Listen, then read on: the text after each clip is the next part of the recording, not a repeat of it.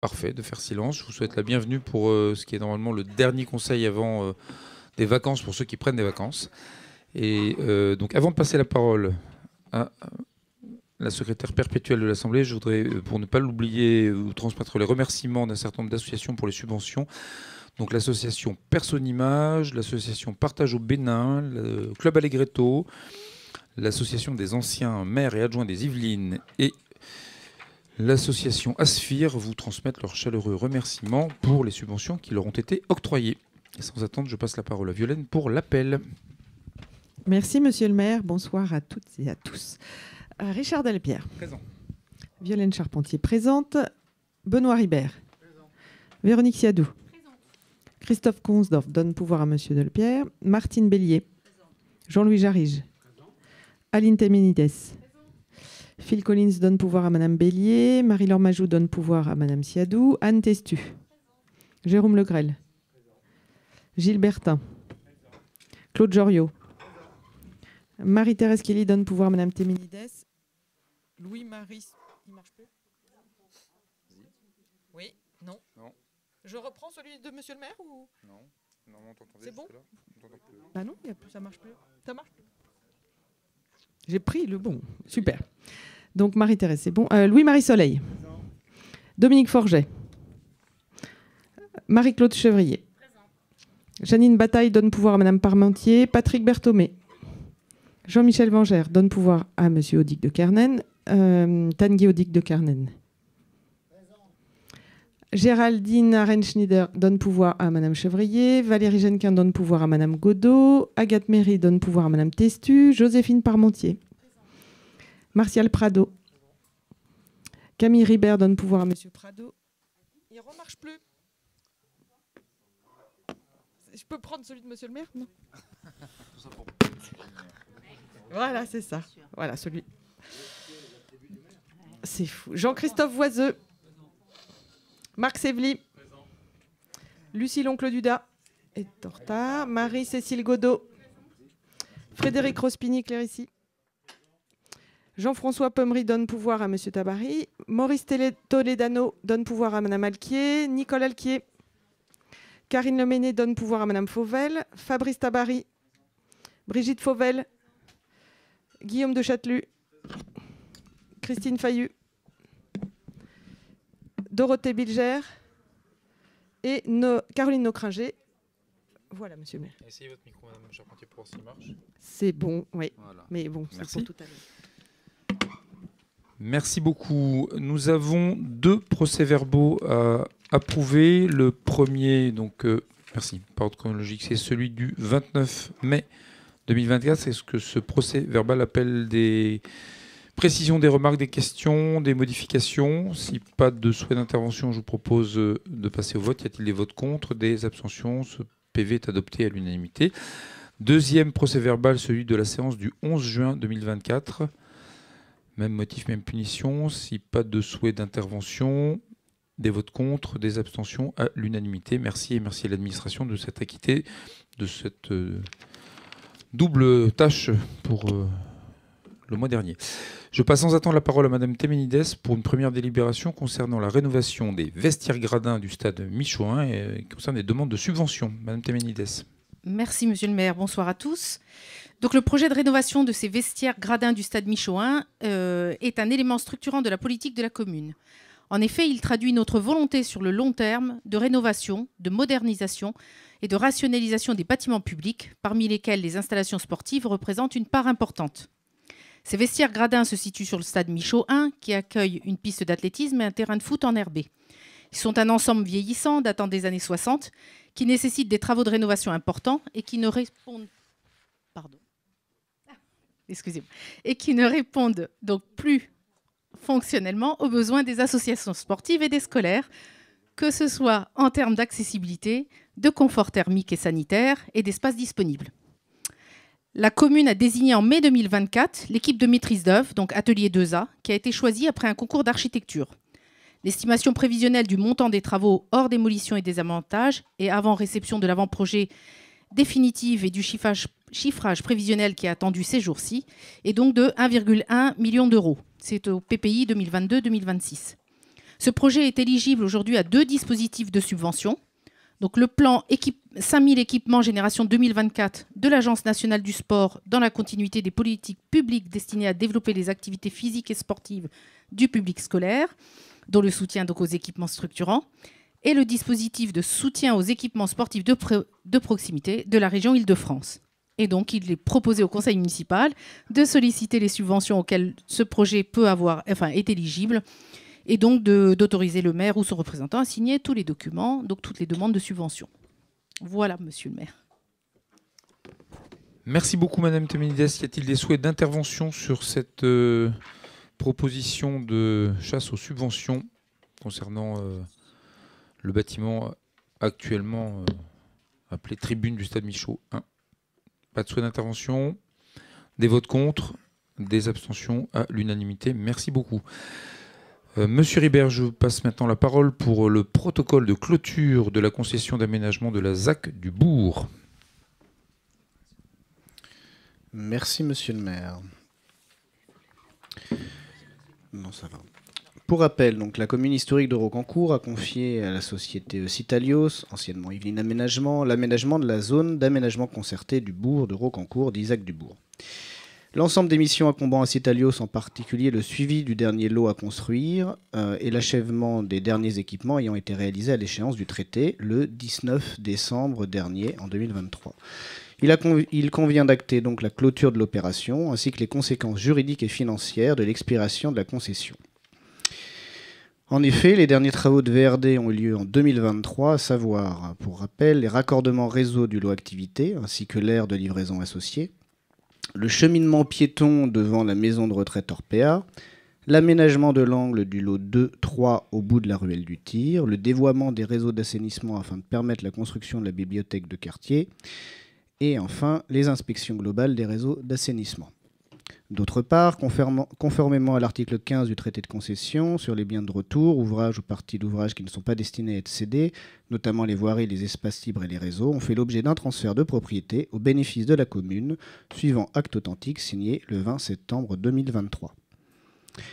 Pour mémoire, nous avions modifié euh, le 6 juillet 2024 les règles de répartition du boni de l'opération de la commune afin de lui permettre de financer les travaux qui ne pouvaient être menés pour des raisons de calendrier avant la fin de la concession le 19 décembre 2023.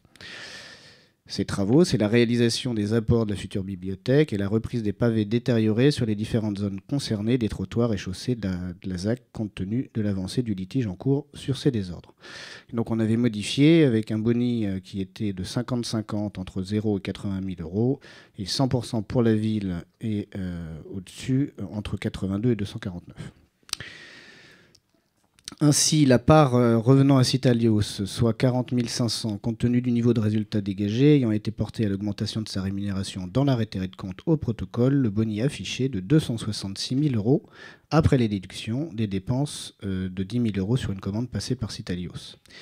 Il revient intégralement à la commune et lui permettra de financer les réalisations des derniers équipements de la ZAC, tels que rappelés ci-avant. Donc vous avez un tableau qui vous rappelle effectivement les recettes et les dépenses de la concession au niveau global et le boni de 266 000 euros à reverser. Pour rappel, le compte-rendu financier annuel de la collectivité présenté par Citalios pour l'exercice 2022 a été arrêté le 12 mai 2023. Il était approuvé par le conseil municipal le 6 juillet 2023. Il faisait état d'un résultat provisionnel de, 200, euh, de, pardon, de 339 000 euros, soit 298 000 euros après la déduction du boni de, 80, de 41 000 euros revenant à l'aménageur. Le résultat définitif de la concession est donc tout à fait comparable au prévisionnel, étant précisé que des dépenses se sont avérées nécessaires entre-temps sur les réseaux d'assainissement avant leur reprise par Hydrolis. Il est par ailleurs précisé que conformément aux articles 24 et suivants du traité de concession, la commune est, du seul fait de cette expiration, subrogée de plein droit dans les droits et obligations de Citalios à compter du 19 décembre 2023. Enfin, il est donc proposé au conseil municipal d'approuver les termes du protocole de clôture de la concession de la ZAC du bourg de Rocancourt à conclure avec la société Citalios et d'autoriser le maire à le signer. Merci beaucoup, Monsieur Ribéry. Y a-t-il des souhaits d'intervention sur euh, ce qui est normalement le dernier volet de cette longue saga, sur lequel vous avez eu euh, depuis le début du mandat la présentation de ce qu'on appelait délicieusement les craquels, les comptes euh, annuels qui présentait l'avancement et, et l'accostage surtout de ce projet. Si pas d'intervention, je vous propose de passer au vote. Y a-t-il des votes contre Des abstentions à l'unanimité. Je vous remercie et j'en profite euh, pour remercier les élus, l'administration et tout particulièrement, maintenant qu'elle n'est plus là, je peux la re-remercier, Flavie Lebouc qui a passé un temps infini à tripatouiller tous les tripatouiller dans le bon sens du terme tous les tableaux de chiffres pour euh, voilà nous permettre de dégager les marges de manœuvre et ainsi de pouvoir terminer dans de bonnes conditions euh, l'aménagement complet de, la ville et de gérer la phase de, litige puisqu'il y a encore un, encore un litige en cours. Voilà, merci beaucoup aux uns et aux autres. Délibération suivante concerne euh, une convention, enfin la convention de mutualisation relative à l'exploitation du centre de supervision urbain intercommunal nord de Versailles-Grand Parc. Euh, vous le savez, nous, sommes donc dépositaires d'un centre de supervision urbain dont, euh, il vous est rappelé les missions principales. La première, c'est une mission de surveillance en temps réel de la voie publique qui permet de déclencher l'intervention des services de police ou de secours. Il effectue également des investigations ainsi que des levées de doutes dans le cadre d'une surveillance a posteriori de la voie publique. C'est l'activité euh, majeure du CSU, au moyen de la relecture et de l'extraction d'images sur réquisition judiciaire d'un magistrat ou d'un enquêteur de police ou de gendarmerie nationale. L'objectif est de prévenir les atteintes aux biens aux personnes, d'identifier les auteurs et de réguler la circulation urbaine le cas échéant.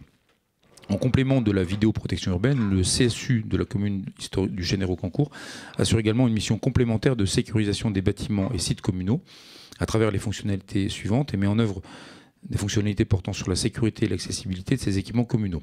Remontée d'alarme incendie, d'alarme anti-intrusion, ouverture verrouillage de portes et accueil téléphonique des lignes mairie et de la police municipale pendant les heures de fermeture. C'est ce qu'on appelle toute la partie domotique et, l'accueil 24-24 euh, téléphonique de la ville. Le recours à l'entente intercommunale, tel que prévu par les articles L5221-1 et L5221-2 du Code général des collectivités territoriales permet d'envisager une collaboration entre communes sur un objet d'utilité communale ou intercommunale compris dans leurs attributions et qui intéresse leur commune. On parle bien donc de collaboration. Cette démarche s'inscrit dans le schéma directeur intercommunal mis en œuvre par la communauté d'agglo de Versailles-Grand Parc dès son origine. À ce titre, elle assure la maîtrise d'ouvrage des travaux de déploiement du système permettant la collecte et l'extraction de données, leur enregistrement ainsi que leur, visualisation en direct et en différé. Elle finance le réseau de transport des images qui relie toutes les communes au centre de stockage intercommunal, le centre d'exploitation avec station de visualisation et d'extraction et les stations de visualisation dans les commissariats et gendarmeries concernés. Avec une aide spécifique de sa part, elle cofinance l'achat des caméras, le réseau de desserte et la station de visualisation communale.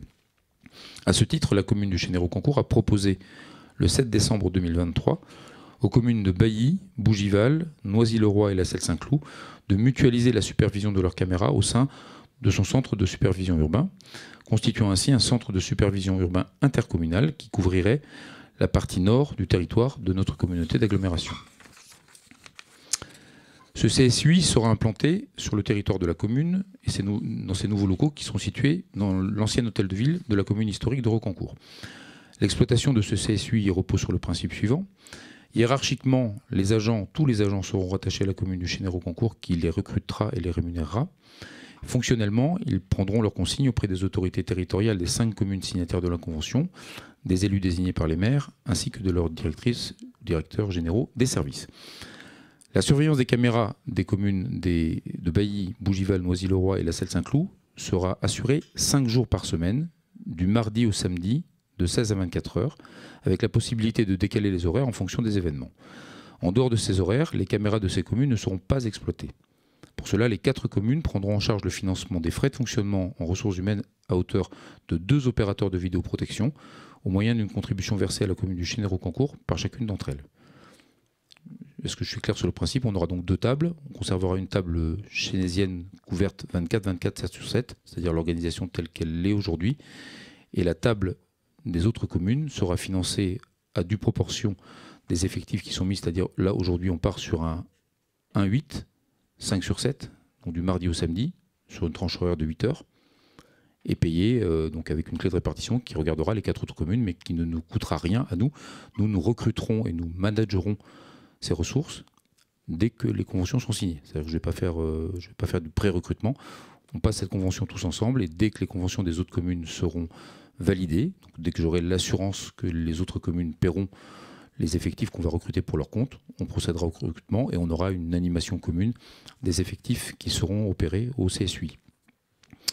Donc la répartition de ces frais de fonctionnement entre ces quatre communes est établie en fonction des critères et proportions suivantes, au nombre de caméras installées sur son territoire pour 70% de la contribution financière et au nombre d'habitants de la commune pour 30% de la contribution financière. Je redis bien, ça c'est la clé de répartition entre les quatre autres communes, zéro impact pour la nôtre. Ces frais de fonctionnement sont modulés par commune en fonction du nombre de jours et des plages horaires de surveillance fixées à l'article 7.2 et des tâches attendues des opérateurs du CSUI.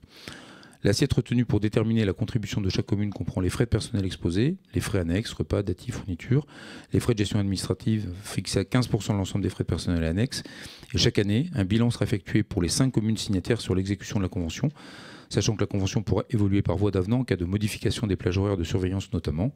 Ça laisse évidemment la possibilité aux communes voisines, si elles considèrent que le CSUI leur apporte le service euh, qu'elles sont en droit d'attendre, d'augmenter l'amplitude horaire, éventuellement de passer un jour en 7 sur 7. Voilà, donc ça, ça se fait progressivement. Globalement, là, on est sur une, offre de base parce que descendre en dessous d'une plage horaire de 8 heures et en dessous de 5 jours par semaine, ça commence à être un peu compliqué. Donc, ils, testent le produit.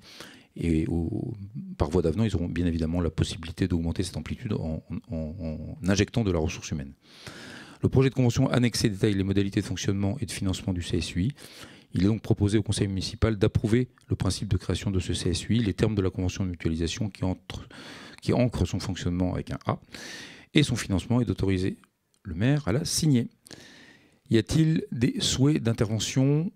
Alors, Madame Malky, on va considérer que le, lever de micro, vous levez de main, et Madame Bilger dans la foulée. Merci.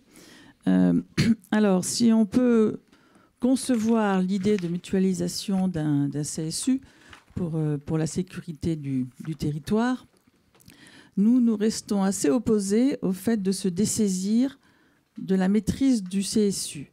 C'est ce qu'on a fait déjà en vendant nos infrastructures. Comme vous le savez, le CSU, il fait beaucoup plus que ça. Il ne fait pas que de la vidéo sur vidéoprotection. Il fait surtout toute la domotique de la, de la ville, comme vous l'avez dit tout à l'heure, les remontées d'alarme, etc. Et donc nous considérons que nous devons garder la maîtrise de ce CSU et qu'il est bien dommage de, se dessaisir des moyens d'avoir cette maîtrise. Donc on, reste euh, et on peut trouver d'autres moyens de mutualisation ou de location ou de, enfin on peut trouver d'autres façons de faire que de se dessaisir de, cela. Euh, donc on reste, plutôt, on est d'accord sur l'idée de mutualiser, mais on n'est pas d'accord sur la méthode. Et, par ailleurs, je considère qu'il y a un petit peu un vice de forme parce que nous n'avons pas la convention. Donc je ne vois pas comment on peut se prononcer sur une convention qui n'est pas dans le dossier. Donc nous ne, nous ne pouvons pas voter pour cette, pour cette convention que nous n'avons pas. Anne Moi j'avais quelques questions un peu plus techniques.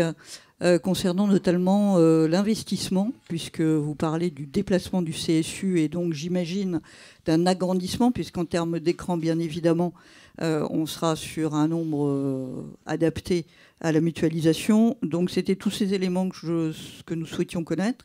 Le coût des travaux, le nombre d'écrans, qui finance l'investissement puisque là on parle bien de, mutualisation en termes fonctionnels, mais pas en termes d'investissement. Et effectivement, je rejoins Madame Alquier sur la convention que nous avons cherchée. Bon alors, je, demande à l'administration de refaire un point parce que c'est un petit peu embêtant qu'il n'y ait pas la convention alors qu'elle est dans le texte. Donc, euh, je, euh, donc en, attendant cette recherche, et je vous prie de m'excuser parce qu'elle devrait y être, euh, pour ce qui est donc des, de l'installation, le, nouveau CSU, le CSU intercommunal, sera installé dans l'actuelle salle du conseil de l'ancienne commune déléguée de Reconcourt pour des, bien évidemment des caractéristiques de volume cette salle se prête très bien à l'accueil d'un mur d'image. Euh, le bâtiment est parfaitement accessible, il est euh, voilà, sécurisable. Il permettra, ce qui n'est pas le cas aujourd'hui, d'accueillir euh, des collègues en situation de handicap, puisqu'aujourd'hui, vous savez où se trouve le CSU. déjà, quand on est valide, ça grimpe. voilà, et donc on n'est pas aux normes aujourd'hui. Euh, donc c'est euh, et cette euh, le bâtiment se trouve fort heureusement le long d'un axe de desserte de fibres. Donc il est très facile à connecter. Enfin voilà, il présentait beaucoup de caractéristiques qui nous permettaient de mettre à dispo très rapidement, d'où les, les, délais qu'on annonce, un espace qui, voilà, en termes de qualité de vie pour les opérateurs et de dimensionnement pour un futur CSU, on l'imagine évidemment euh, un peu grand format, c'est-à-dire un jour accueillant 7-7, 24-24, deux opérateurs plus un encadrant.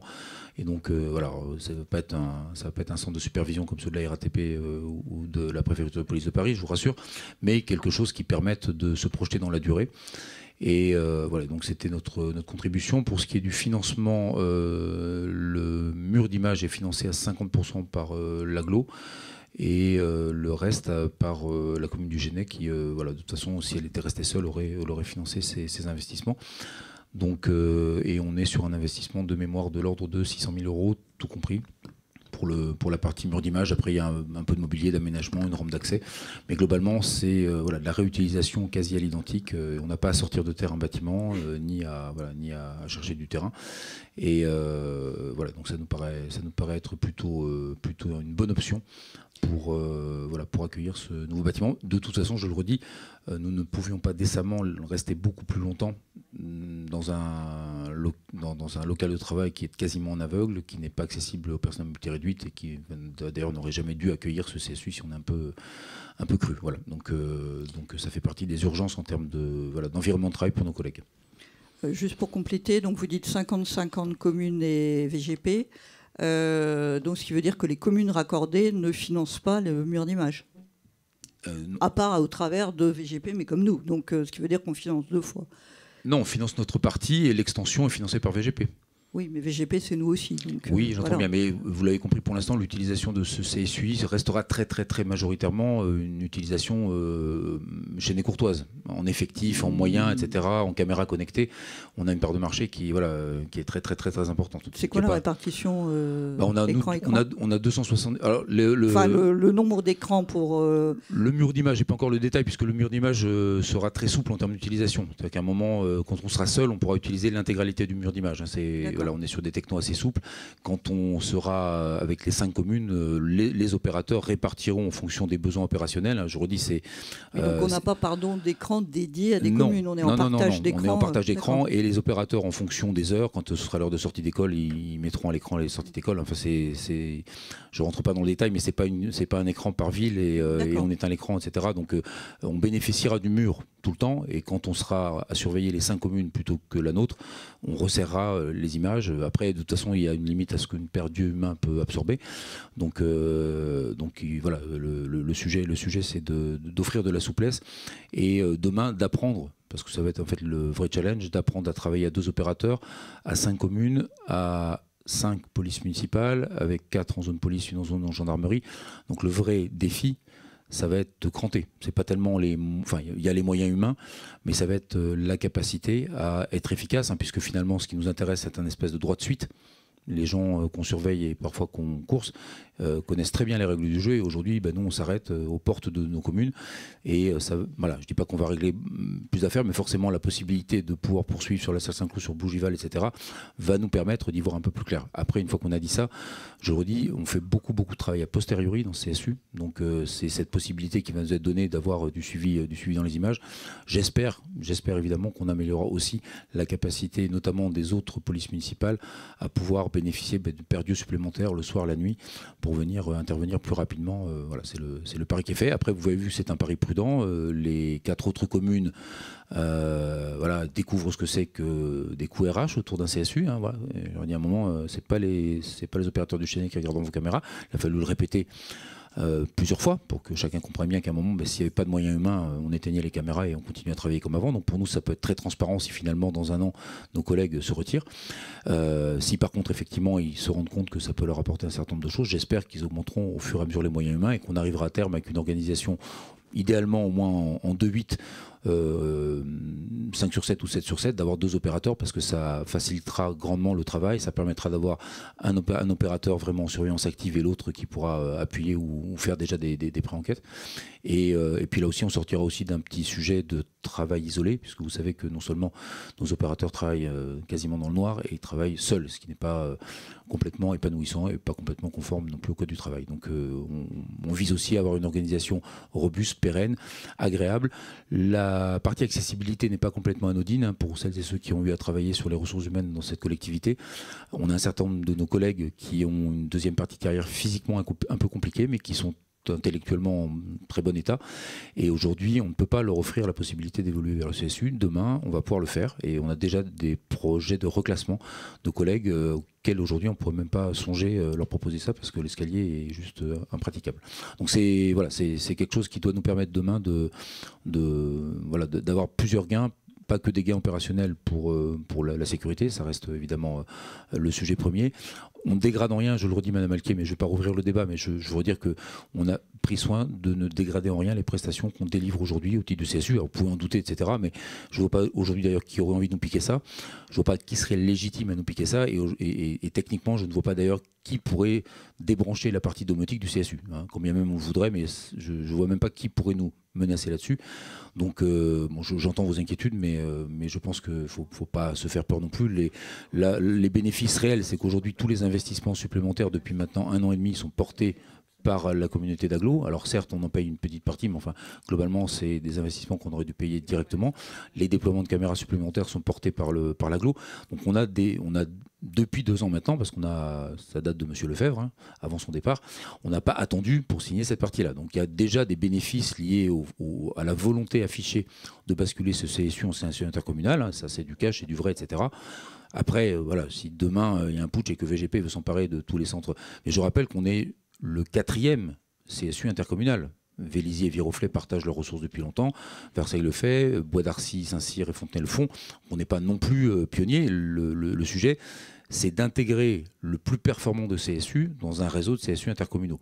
Et aujourd'hui, il n'y a pas un méga CSU qui commande tous les petits CSU. Ça ne marche pas comme ça. On restera de toute façon techniquement et en amplitude horaire le, le CSUI le plus performant de l'aglo, parce qu'on est les seuls à tenir l'amplitude 7 sur 7 et que je n'ai pas prévu de la dégrader parce que pour le coup, ça reste pour nous notre point d'entrée permanent. On est la seule commune qui, répond au téléphone 24-24, 7 sur 7, y compris à la préfecture, etc. Donc c'est un élément de confort. C'est un choix politique, c'est un choix budgétaire. Hein. On se le redit à chaque fois qu'on se demande où passent nos impôts. C'est euh, de la masse salariale, hein. mais c'est du, du service et du confort. Voilà. Et donc, dans l'organisation telle qu'elle est aujourd'hui, on ne dégrade en rien, c'est-à-dire qu'on n'a pas mélangé nos ressources avec celles de nos collègues. On accueille nos collègues dans une table à côté. Demain, s'ils sont super contents, ils peuvent monter au même niveau que nous et on sera ravis. Et même en montant au même niveau que nous, ils ne nous piqueront pas nos écrans, nos télés, notre fauteuil. Voilà, donc euh, moi je souhaite effectivement que demain, ils goûtent au plat, ils se rendent compte que c'est bien. Et je souhaite, euh, voilà, on va au bout du bout, qu'il y ait une vraie coopération sur le terrain pour les villes qui ont euh, fait le choix d'avoir des policiers municipaux opérationnels 7 sur 7. Elles ne sont pas toutes non plus tout à fait comme nous, hein, mais qu'en tout cas, euh, on puisse gagner aussi en réactivité et qu'on partage bien évidemment quand on sera sollicité par les forces de police nationale ou gendarmerie, qu'on partage les infos et qu'on permette de, voilà, de, de renforcer le sentiment de sécurité et la qualité des enquêtes qu'on mène. Mais je le dis aujourd'hui, on a déjà une police municipale qui, avec l'aide du CSU euh, et pas que l'aide vidéo, puisque dans la préparation des rapports d'enquête, on a aujourd'hui vraiment des opérateurs qui délivrent des documents de grande qualité qui permettent aux officiers de police judiciaire et, aux juges d'instruire euh, dans de bonnes conditions les enquêtes qui leur sont confiées. Est-ce qu'entre-temps, on a retrouvé la convention?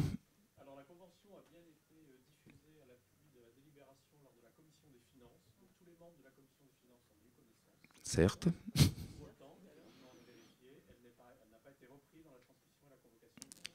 Alors, est-ce que ça pourrait être fait en temps réel? Sinon, est-ce que ça peut être distribué sur papier en séance? Je voudrais quand même que nos collègues puissent la voter. Donc, si vous le voulez bien, euh, sous le contrôle de l'administration, euh, est-ce qu'on peut... Alors, on, va l'imprimer.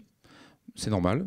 Euh, si vous êtes d'accord, chers collègues, je vous propose donc qu'on la diffuse je vous laisse le temps à la fin du conseil et voilà, ou soit vous me dites que vous l'avez parcouru pendant la séance et qu'on peut la voter. Sinon, on fait une suspension de séance à la fin, vous prenez le temps de la regarder. Il n'y a pas de piège dans cette convention, mais c'est comme tout à fait normal que, au-delà des membres de la commission des finances, vous ayez le temps de la lire.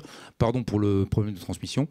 Hein, et donc, on, vous me faites une impression euh, et donc on reviendra sur cette délibération en fin de séance. Et donc, je le redis à Madame Alki, Madame Bilger, s'il y a besoin de faire une suspension pour, euh, pour que vous ayez le temps de de vous imprégner du contenu de la, de la Convention. je n'ai évidemment aucun problème. Est-ce qu'il y a d'autres souhaits d'intervention? Alors, euh, Lucie Loncluda, entre-temps, est arrivée, je la salue. C'est la seule à être arrivée? Hmm, Très bien. Euh, donc, euh, on reviendra sur cette délibération. Je passe sans attendre la parole à Monsieur Rospini-Clérici qui va euh, nous parler d'une convention de mise à disposition d'un terrain à la commune du Chénéro-Concours par le syndicat de copropriétaires du 22 rue de Versailles. Monsieur Rospini, vous avez la parole. Merci, monsieur le maire, chers collègues. La présente délibération, effectivement, concerne un terrain de mise à disposition par cette copropriété d'un terrain de 10 mètres carrés au 22 rue de Versailles, qui nous permettra de mettre en conformité l'arrêt de bus. Alors, euh, pour être plus exact, c'est en face du marché et à droite de la boulangerie. Vous avez un, espace qui est très exigu, à la fois pour les piétons et à la fois pour les, voyageurs. Et donc, euh, après un échange avec la copropriété, on a trouvé euh, un terrain d'entente où euh, nous ferons des travaux de génie civil, des travaux d'équipement et des, petits travaux d'espace vert qui nous permettront de loger un, abribus permettant ainsi de mettre euh, aux normes cette installation. Parallèlement, la copropriété profitera de l'occasion pour euh, réaménager le devant de, son bâtiment et nous de refaire le trottoir pour améliorer euh, l'aspect paysager du site, l'aspect sécurité pour les piétons et l'aspect sécurité pour euh, les voyageurs.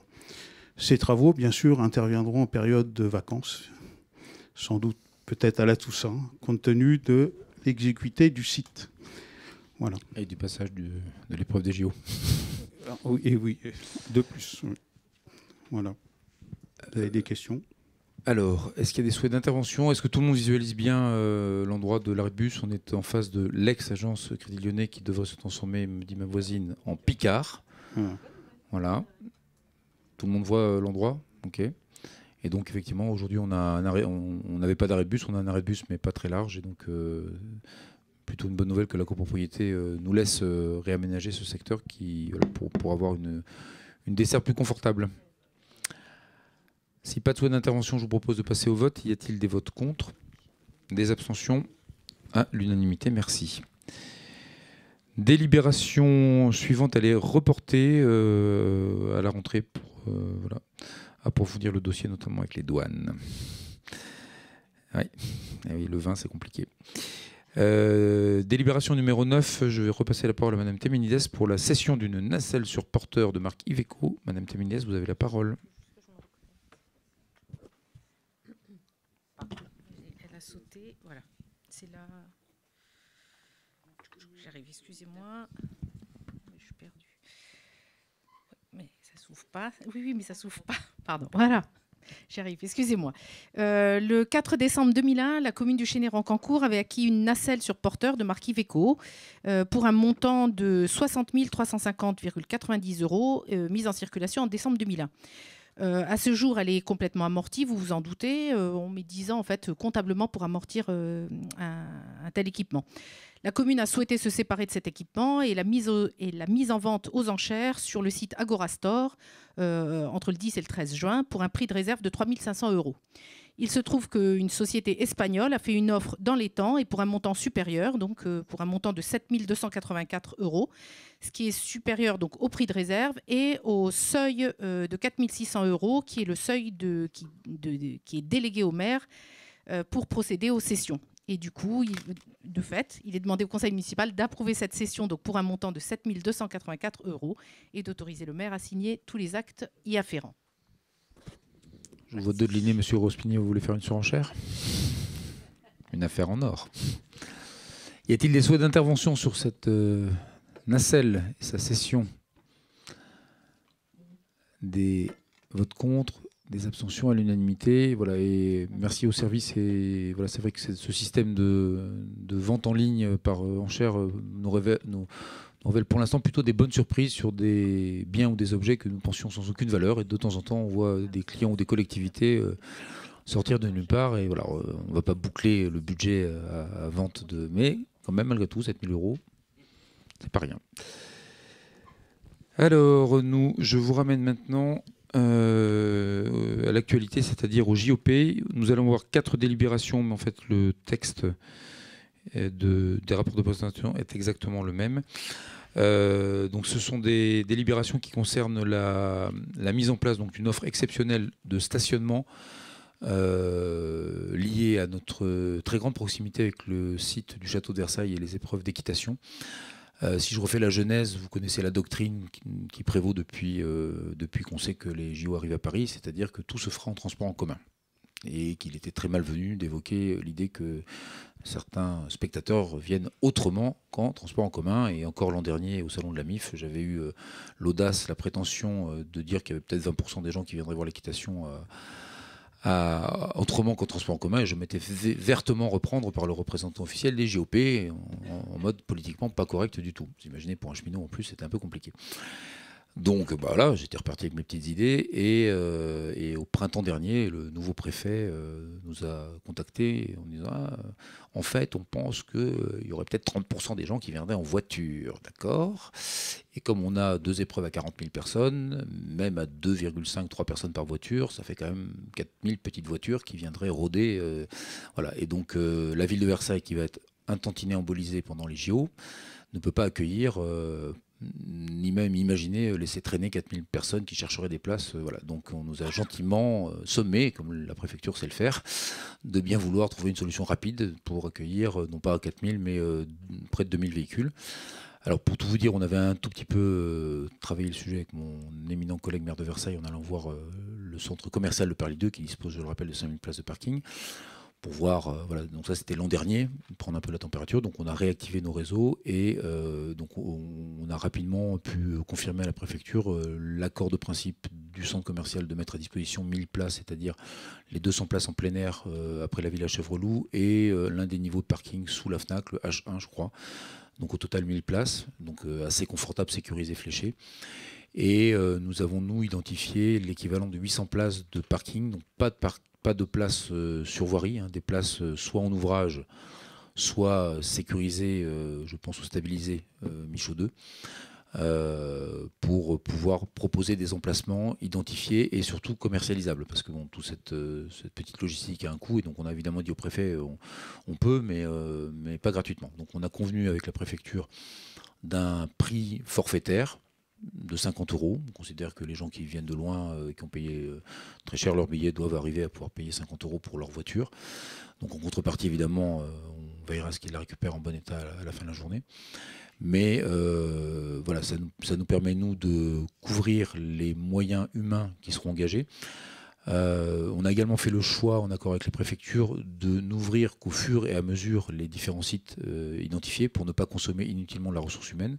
Donc on va, euh, comme, ce sont des systèmes de réservation par Internet, on va ouvrir des capacités et dès qu'un parking sera rempli à 90%, on déclenchera l'ouverture et la mise en location d'un deuxième parking. De telle sorte que si jamais on est victime de notre succès, ben, on, aura 1800 places commercialisées. Et si finalement il décide de venir en train, on les applaudira et on n'ouvrira que les 200 ou 300 ou 400 places dont on a besoin et on ne mettra les moyens humains qu'à hauteur de ce qu'on aura à surveiller. Enfin, c'est surtout plus que de la surveillance, de l'accueil pour aider les gens. Vous savez, dans les, la grande épreuve sportive, quand vous arrivez, vous êtes invité fortement à aller euh, sur l'allée machin, pour que le remplissage se fasse dans de bonnes conditions. Donc c'est cette organisation donc, qui a été validée. Il fallait ensuite se mettre d'accord avec euh, l'Office de tourisme intercommunal de Versailles pour commercialiser les bons, donc euh, les formater, les définir, le voucher, le scan, le truc, le machin, et puis euh, la mise en ligne. À l'issue de la délibération de ce soir, demain matin à l'aube, nous irons guetter le site de l'Office de tourisme intercommunal pour voir si les places sont bien en vente. Donc voilà, donc euh, ils, attendent fébrilement. Et donc à partir de demain, on va surveiller donc la, commercialisation et, donc proposer ce, service qu'on aurait sans doute pu anticiper de quelques mois. Et donc ça fait partie du charme des JO, c'est que jusqu'au dernier moment on finalisera. Mais a priori, de toute façon, vu les délais là maintenant, je pense qu'on est en très courte finale. Et donc je vais donc proposer de valider ces quatre délibérations, cette délibération de principe, une convention avec le centre commercial, une délibération à caractère RH pour pouvoir payer nos agents, et, et puis la convention avec l'office de tourisme intercommunal pour pouvoir commercialiser les titre de, stationnement. Ça ne donnera pas automatiquement accès au site olympique. Pour ceux qui auraient l'idée de passer euh, au black avec une place de parking, ceci ne donne pas accès au, parc du château et, au site d'équitation. Est-ce que j'ai été à peu près clair dans mes explications? Vous avez tout le texte, donc ne relisez pas quatre fois les délibérations. Un esprit sournois et malin, parce que moi je les ai relus en entier, donc je m'adresse à l'administration. Je ne sais pas pourquoi vous avez mis la, première étant 1, la deuxième c'est la 4, la troisième, donc je pense qu'il y a des gens un peu Karima, je pense que c'est vous en fait. Voilà, c'est ça. Je vous ai bien parce que je les ai lues toutes jusqu'au bout en me disant il y a un piège. Voilà. Donc est-ce qu'il y a euh, Madame Bilger? C'est juste une question sur la gestion RH parce qu'effectivement, euh, euh, compte tenu du système de mise en ligne progressive des parkings, comment va pouvoir se faire justement bah, le recrutement parce que c'est un petit peu tendu Alors, sous le haut contrôle du DGA euh, Ressources Humaines qui est pas loin, euh, on va être sur la base du volontariat. Euh, évidemment, on va pas, va pas réquisitionner ni faire revenir. Alors, j'en profite pour remercier nos collègues de, l'État civil qui, eux, ont rendu leur congé pour être avec nous ce week-end, parce qu'il y a des moments, des circonstances où... voilà, non, mais je, tiens à les remercier. Celles et ceux qui seront mis à contribution, c'est évidemment sur la base du volontariat, c'est ceux qui sont présents. Donc on a en général un volant euh, d'agents qui sont disponibles. Euh, on essaiera alors en fonction du volume de répartir équitablement pour ne pas donner le sentiment que tel ou tel service serait euh, chasse gardée ou réservée. Hein. C'est une activité nouvelle, ce sera un one shot. On n'a pas prévu d'ouvrir des parkings tous les étés, mais voilà, mais on n'a pas encore complètement défini les règles. On va, je pense, s'appuyer. Mais Luc, si vous voulez compléter, n'hésitez pas. Prenez peut-être un micro. Et, ou Sylvain.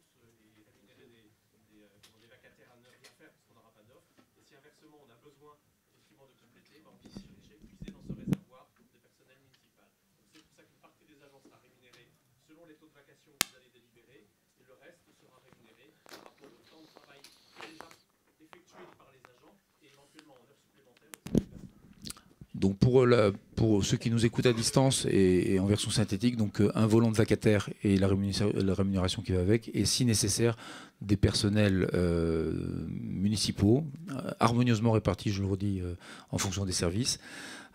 Sachant qu'il y aura certaines journées qui sont des journées avec amplitude importante, notamment les soirs où il y aura également le château qui continuera à faire les grandes eaux. Et donc, on se dit que les gens à avoir payé leur. Euh, d'ailleurs, on a un tarif adapté. Le tarif à 60 euros, c'est pour ça. Hein, pour ceux qui se posent la question pourquoi 50, pourquoi 60. Il y a, euh, des soirées avec euh, effet bonus. Et donc, ceux qui resteront jusqu'à 23h30, on les attendra. Voilà. On leur rendra non pas les clés, mais l'accès au, parking. Et, donc voilà, on, fera le bilan évidemment à la, fin de l'été. Vous avez, je crois, dans la délibération, le montant max qui permettrait d'abonder le budget annexe euh, de stationnement. Ça l'équilibrera pas, je précise, mais ça mettra un peu de beurre dans les épinards. Euh, voilà, ça donne une idée euh, voilà, des, sommes qui peuvent être engagées, mais c'est vraiment la version max où on remplirait tous les parkings. donc évidemment, on fera un bilan au sortir de l'été de, de cette euh, organisation spéciale euh, JOP stationnement. Euh, voilà, l'idée, voilà, l'idée étant nous aussi d'éviter, même s'il y aura quand même beaucoup de nos, administrés qui seront partis en vacances. Au départ, on était parti sur une solution plutôt voirie. C'était compliqué. voilà, donc là, on a, on a fait le choix de, solutions qui évitent aussi que les voitures des touristes errent dans les rues du Chênay.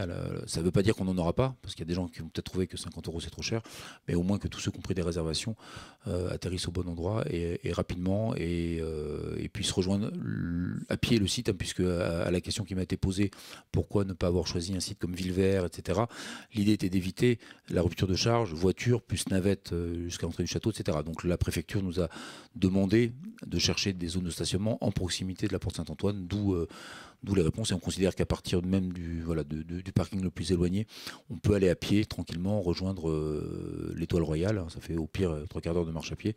C'est pas un drame. Mais par exemple, on n'a pas mis le parking du Bel Air. Le parking du Bel Air, il est vraiment. Euh, il n'est pas inaccessible, mais on a considéré qu'il était trop éloigné. Donc on s'est concentré vraiment sur des zones en proximité de la Porte Saint-Antoine pour pouvoir terminer à pied ou prendre un vélo dans l'enceinte du château pour ceux qui veulent faire du vélo. Brigitte. J'ai une question, monsieur le maire, une question technique. Comment vont faire les gens pour régler le forfait de stationnement En ligne, ils l'ont payé avant. Ils l'ont payé avant. Et donc les agents qui seront à la réception des voitures auront un moyen, un pad, de voir si la personne a payé ou pas. Oui, non, c'est l'avantage, c'est que là, le, système de réservation n'aura pas de, on n'aura pas de manipulation euh, d'espèces, contrairement à certains parkings estivaux que vous fréquentez euh, quand il faut aller aux eaux ou, euh, voilà, ou à la plage. D'autres questions?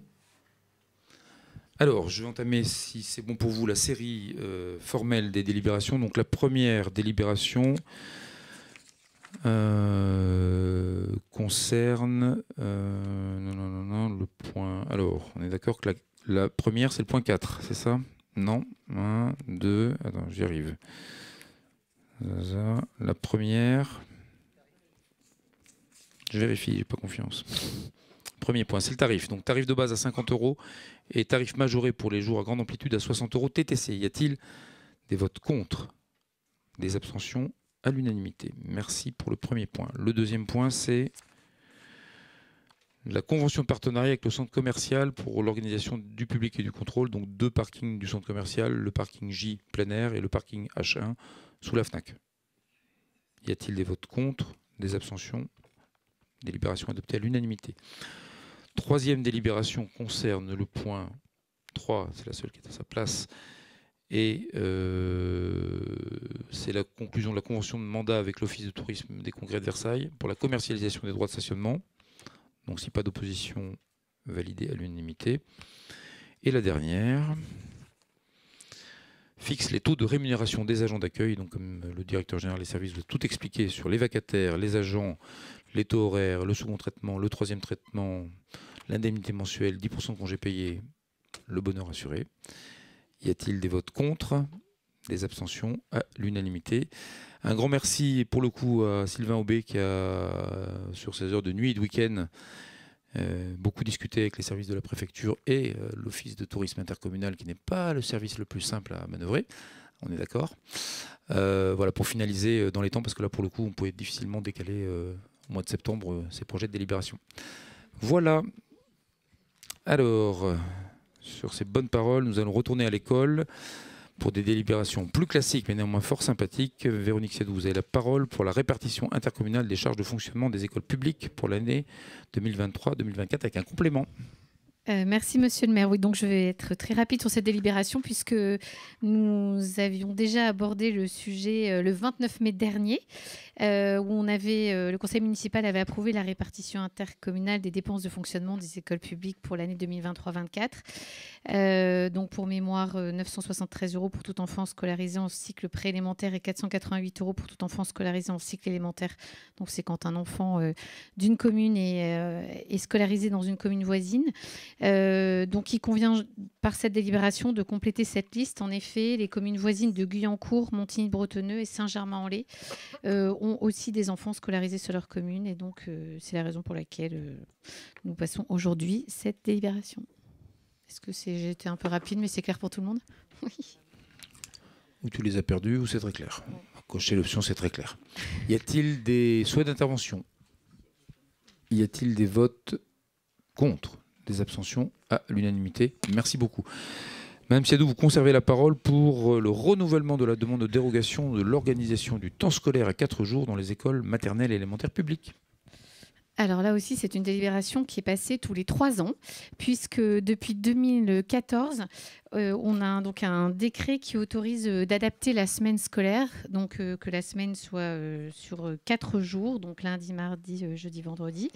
donc la commune en 2017 a adhéré à ce, nouveau dispositif, excusez-moi, parce qu'avant en 2014, il y avait mercredi matin classe et vendredi après-midi les activités périscolaires. En 2017, suite à une concertation avec les parents d'élèves, les enseignants et et la commune donc, et les associations, il a donc été décidé euh, de passer à la semaine de 4 jours répartie sur lundi, mardi, jeudi, vendredi, avec, euh, la mise en place euh, du plan mercredi, donc le mercredi matin.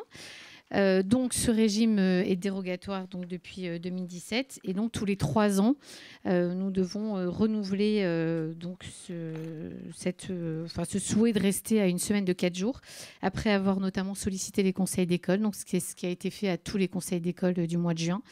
Et voilà, je ne vous cache pas que tous les conseils d'école ont souhaité rester à la semaine de quatre jours. Et donc la dérogation prenant fin le 31 août, donc il est demandé aujourd'hui au Conseil municipal de se prononcer sur ce renouvellement jusqu'à août 2027. Et il se trouve que en parallèle euh, de, ce régime dérogatoire sur la semaine de 4 jours, en face, on a la convention triennale du dispositif PEDT qui est projet éducatif territorial qui lui aussi est reconduit. Et donc, euh, on va, là, en ce moment, on est en train euh, d'évaluer ce PEDT au niveau de la commune et euh, en vue de préparer une nouvelle rédaction euh, à partir du mois de septembre. Euh, donc là aussi, on vous demande de vous prononcer sur la possibilité, l'intention de reconduire ce dispositif. C'est clair aussi? Mais on va tout de suite le savoir, Madame Chiadou.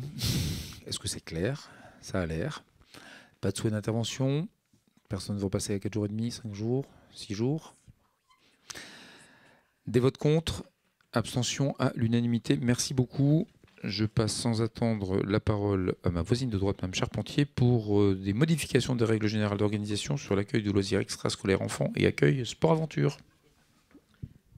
Et le micro, merci Monsieur le maire.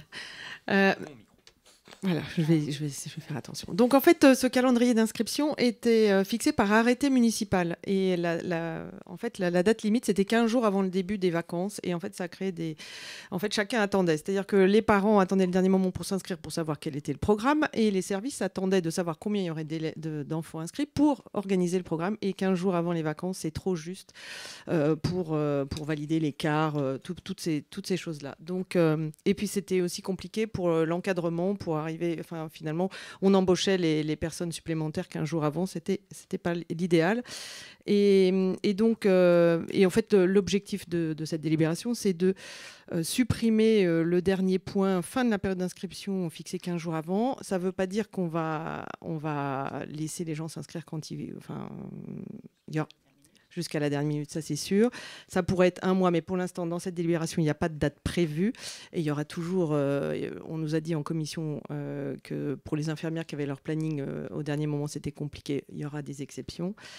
et puis en fait, l'objectif final, c'est comme on peut s'inscrire en ligne avec le guichet numérique, c'est d'anticiper le plus possible pour permettre aux équipes d'organiser des, des, activités de qualité. Et j'en profite pour remercier Olivier Tétard et Xavier Milly qui en fait euh, remettent le nez là-dedans. Et il y a plein de choses à faire pour améliorer euh, ce service. Voilà, merci Monsieur le maire. C'est clair? Non? Ah, Voilà. Merci Madame Charpentier. Y a-t-il des souhaits d'intervention? Madame Fauvel. Ou alors c'est juste pour le, la beauté du geste? Oh non. Allez-y. J'ai une petite question, mais j'ai déjà eu un peu ma réponse. Donc on n'a pas le calendrier de fin d'inscription aujourd'hui. Avant, c'était 15 jours ni le début. Mais le début, j'ai bien compris, vous vouliez ouvrir les réservations des vacances scolaires toute l'année dès le jour de la rentrée scolaire. Bah, l'objectif à terme, ah, c'est déjà ce qui se fait dans les communes voisines, en fait. Non, non, mais je parle pour le Chenet. Oui, non, bah, en fait, pour l'instant, cette délibération, c'est juste, on arrête le 15 jours avant. C'est ah, d'accord. Il n'y aura plus le point 15 jours avant. D'accord. on donc il y aura combien de jours avant? Et donc pour l'instant, ça n'est pas dans cette délibération et ça sera au cas par cas parce que ça dépend. Il y a les vacances de février, parfois il y a quatre semaines ou enfin cinq semaines entre chaque, c'est différent. C'est surtout pour les vacances d'été où ils ont besoin d'anticiper les services pour euh, faire des choses de qualité. C'est vraiment ça. Mais ça veut dire que les familles auront plus à, soustraire, à, se, à participer aux 15 euros de majoration. Parce que si on met un délai d'un mois, ceux qui viennent euh, les 15 jours avant les vacances scolaires, ils auront donc la majoration. En fait, il y a un moment, il faudra effectivement que les gens payent s'ils ne s'inscrivent pas. Mais après, les gens, c'est pas logique. Autant qu'ils s'inscrivent à l'avance. S'ils le peuvent. Alors, il y aura des exceptions si vraiment l'histoire des, infirmières, effectivement, on peut le comprendre. le reste, euh, non. C'est vrai que si, si par exception et par euh, demande individuelle, on enlève la majoration de 15 euros aux familles parce qu'elles ont des bonnes raisons de s'être inscrites en retard, autant enlever la majoration. Non, parce que ça, ça, ça permet justement. C'est pas possible en fait. Il faut. Mais maintenant qu'il y a le guichet, euh, maintenant que les gens s'inscrivent en ligne, Mhm. il y a déjà moins. C'est plus simple pour les pour les familles de s'inscrire en ligne et ça, ça va se faire. Et c'est pour ça que dans les autres communes, c'est le jour de la rentrée, on s'inscrit pour tout, pour toute l'année. Et c'est peut-être ce que, ce que l'objectif final, mais pour l'instant, ça n'est pas le propos de cette délibération. C'est à mon avis un excellent sujet de débat en commission à la rentrée. Mais ça veut dire qu'il faut préparer le sujet parce que sinon vous aurez les questions. Y a-t-il d'autres souhaits d'intervention? Oui, c'est le moment. L'idée, c'est juste d'enlever l'histoire des 15 jours, mais on ne délibère pas sur ce qui va se faire. c'est ça. Et quand est-ce qu'on délibère sur À ce qui va se faire? À la rentrée. D'accord. En fait, Olivier Tétard, il est là depuis peu. Il, il regarde tout ce qui se passe. Voilà, il faut un peu de temps pour euh, pour modifier les, les règles. Et donc l'idée, c'était parce que comme la rentrée étant le 2 septembre et le prochain conseil municipal étant euh, je ne sais plus quand. Mais après, ce sera pour les vacances de la Toussaint. Ouais.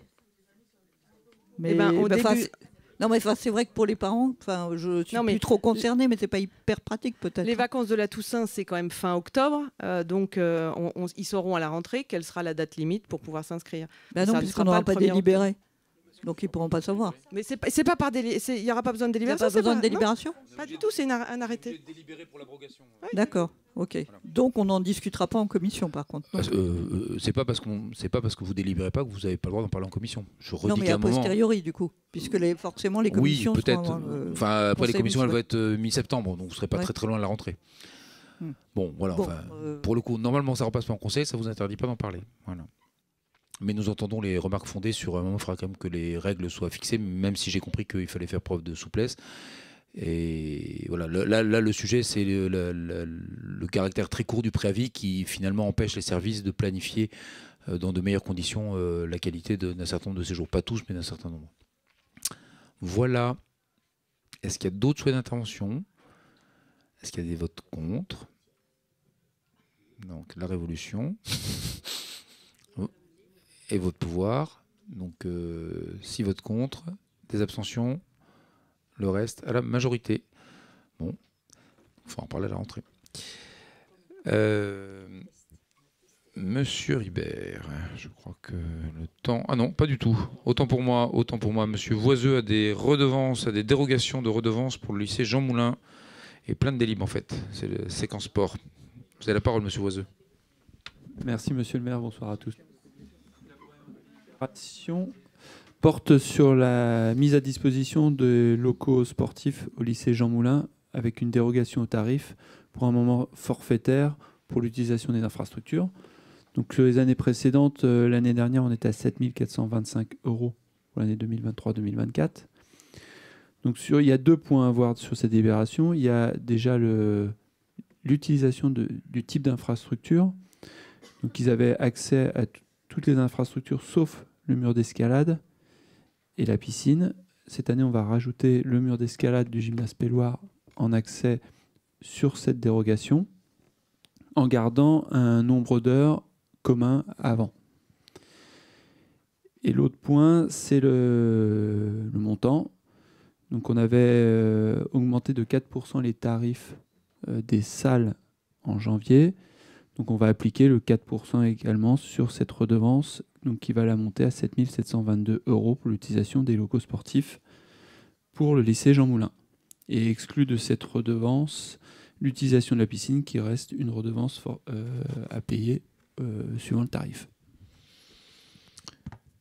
Merci. Monsieur Foisieux, est-il des souhaits d'intervention sur cette délibération? Pas de souhait d'intervention. Des votes contre? Des abstentions à l'unanimité. Merci pour les lycéens de Jean Moulin. Prochaine euh, délibération, toujours pour vous, Monsieur Oiseux, concerne l'utilisation des cours de tennis communaux pour des, des activités économiques. Oui, tout à fait.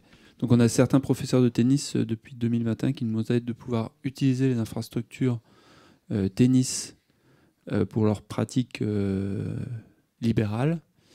Pour cette mise à disposition, il fallait donc une convention et qui paye une redevance. Euh, cette convention, on l'a remodifiée un petit peu cette année, parce que l'année dernière, on avait modifié en incluant le samedi pour qu'ils puissent utiliser des créneaux. Mais on s'est rendu compte que ça bloquait un petit peu au niveau de la pratique loisir du club, où les gens viennent réserver leurs cours.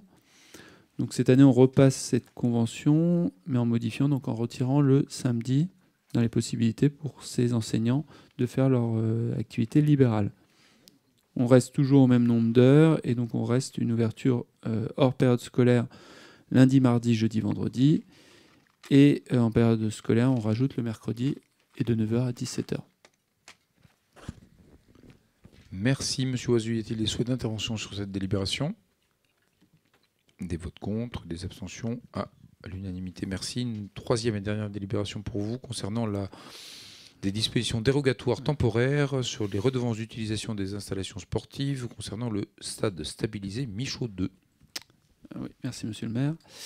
Euh, comme vous avez vu tout à l'heure la délibération qui vous parlait des travaux euh, de la tribune Michaud, et pendant ces travaux, la piste d'athlétisme sera inutilisable. Et la piste d'athlétisme était utilisée par des établissements scolaires d'enseignement. Euh, et donc, on a eu la demande de voir pour trouver une solution, et surtout au niveau euh, financier, parce qu'on avait la solution donc, du stabilisé de Michaud 2 euh, sur cette année, mais avec un tarif de Michaud 2 qui est à 202 euros de l'heure, alors que la piste d'athlétisme est à 80 euros de l'heure. Donc on demande au conseil municipal là, de valider un montant de redevance dérogatoire temporaire du stade Michaud 2 au tarif de la redevance de piste d'athlétisme du stade Michaud.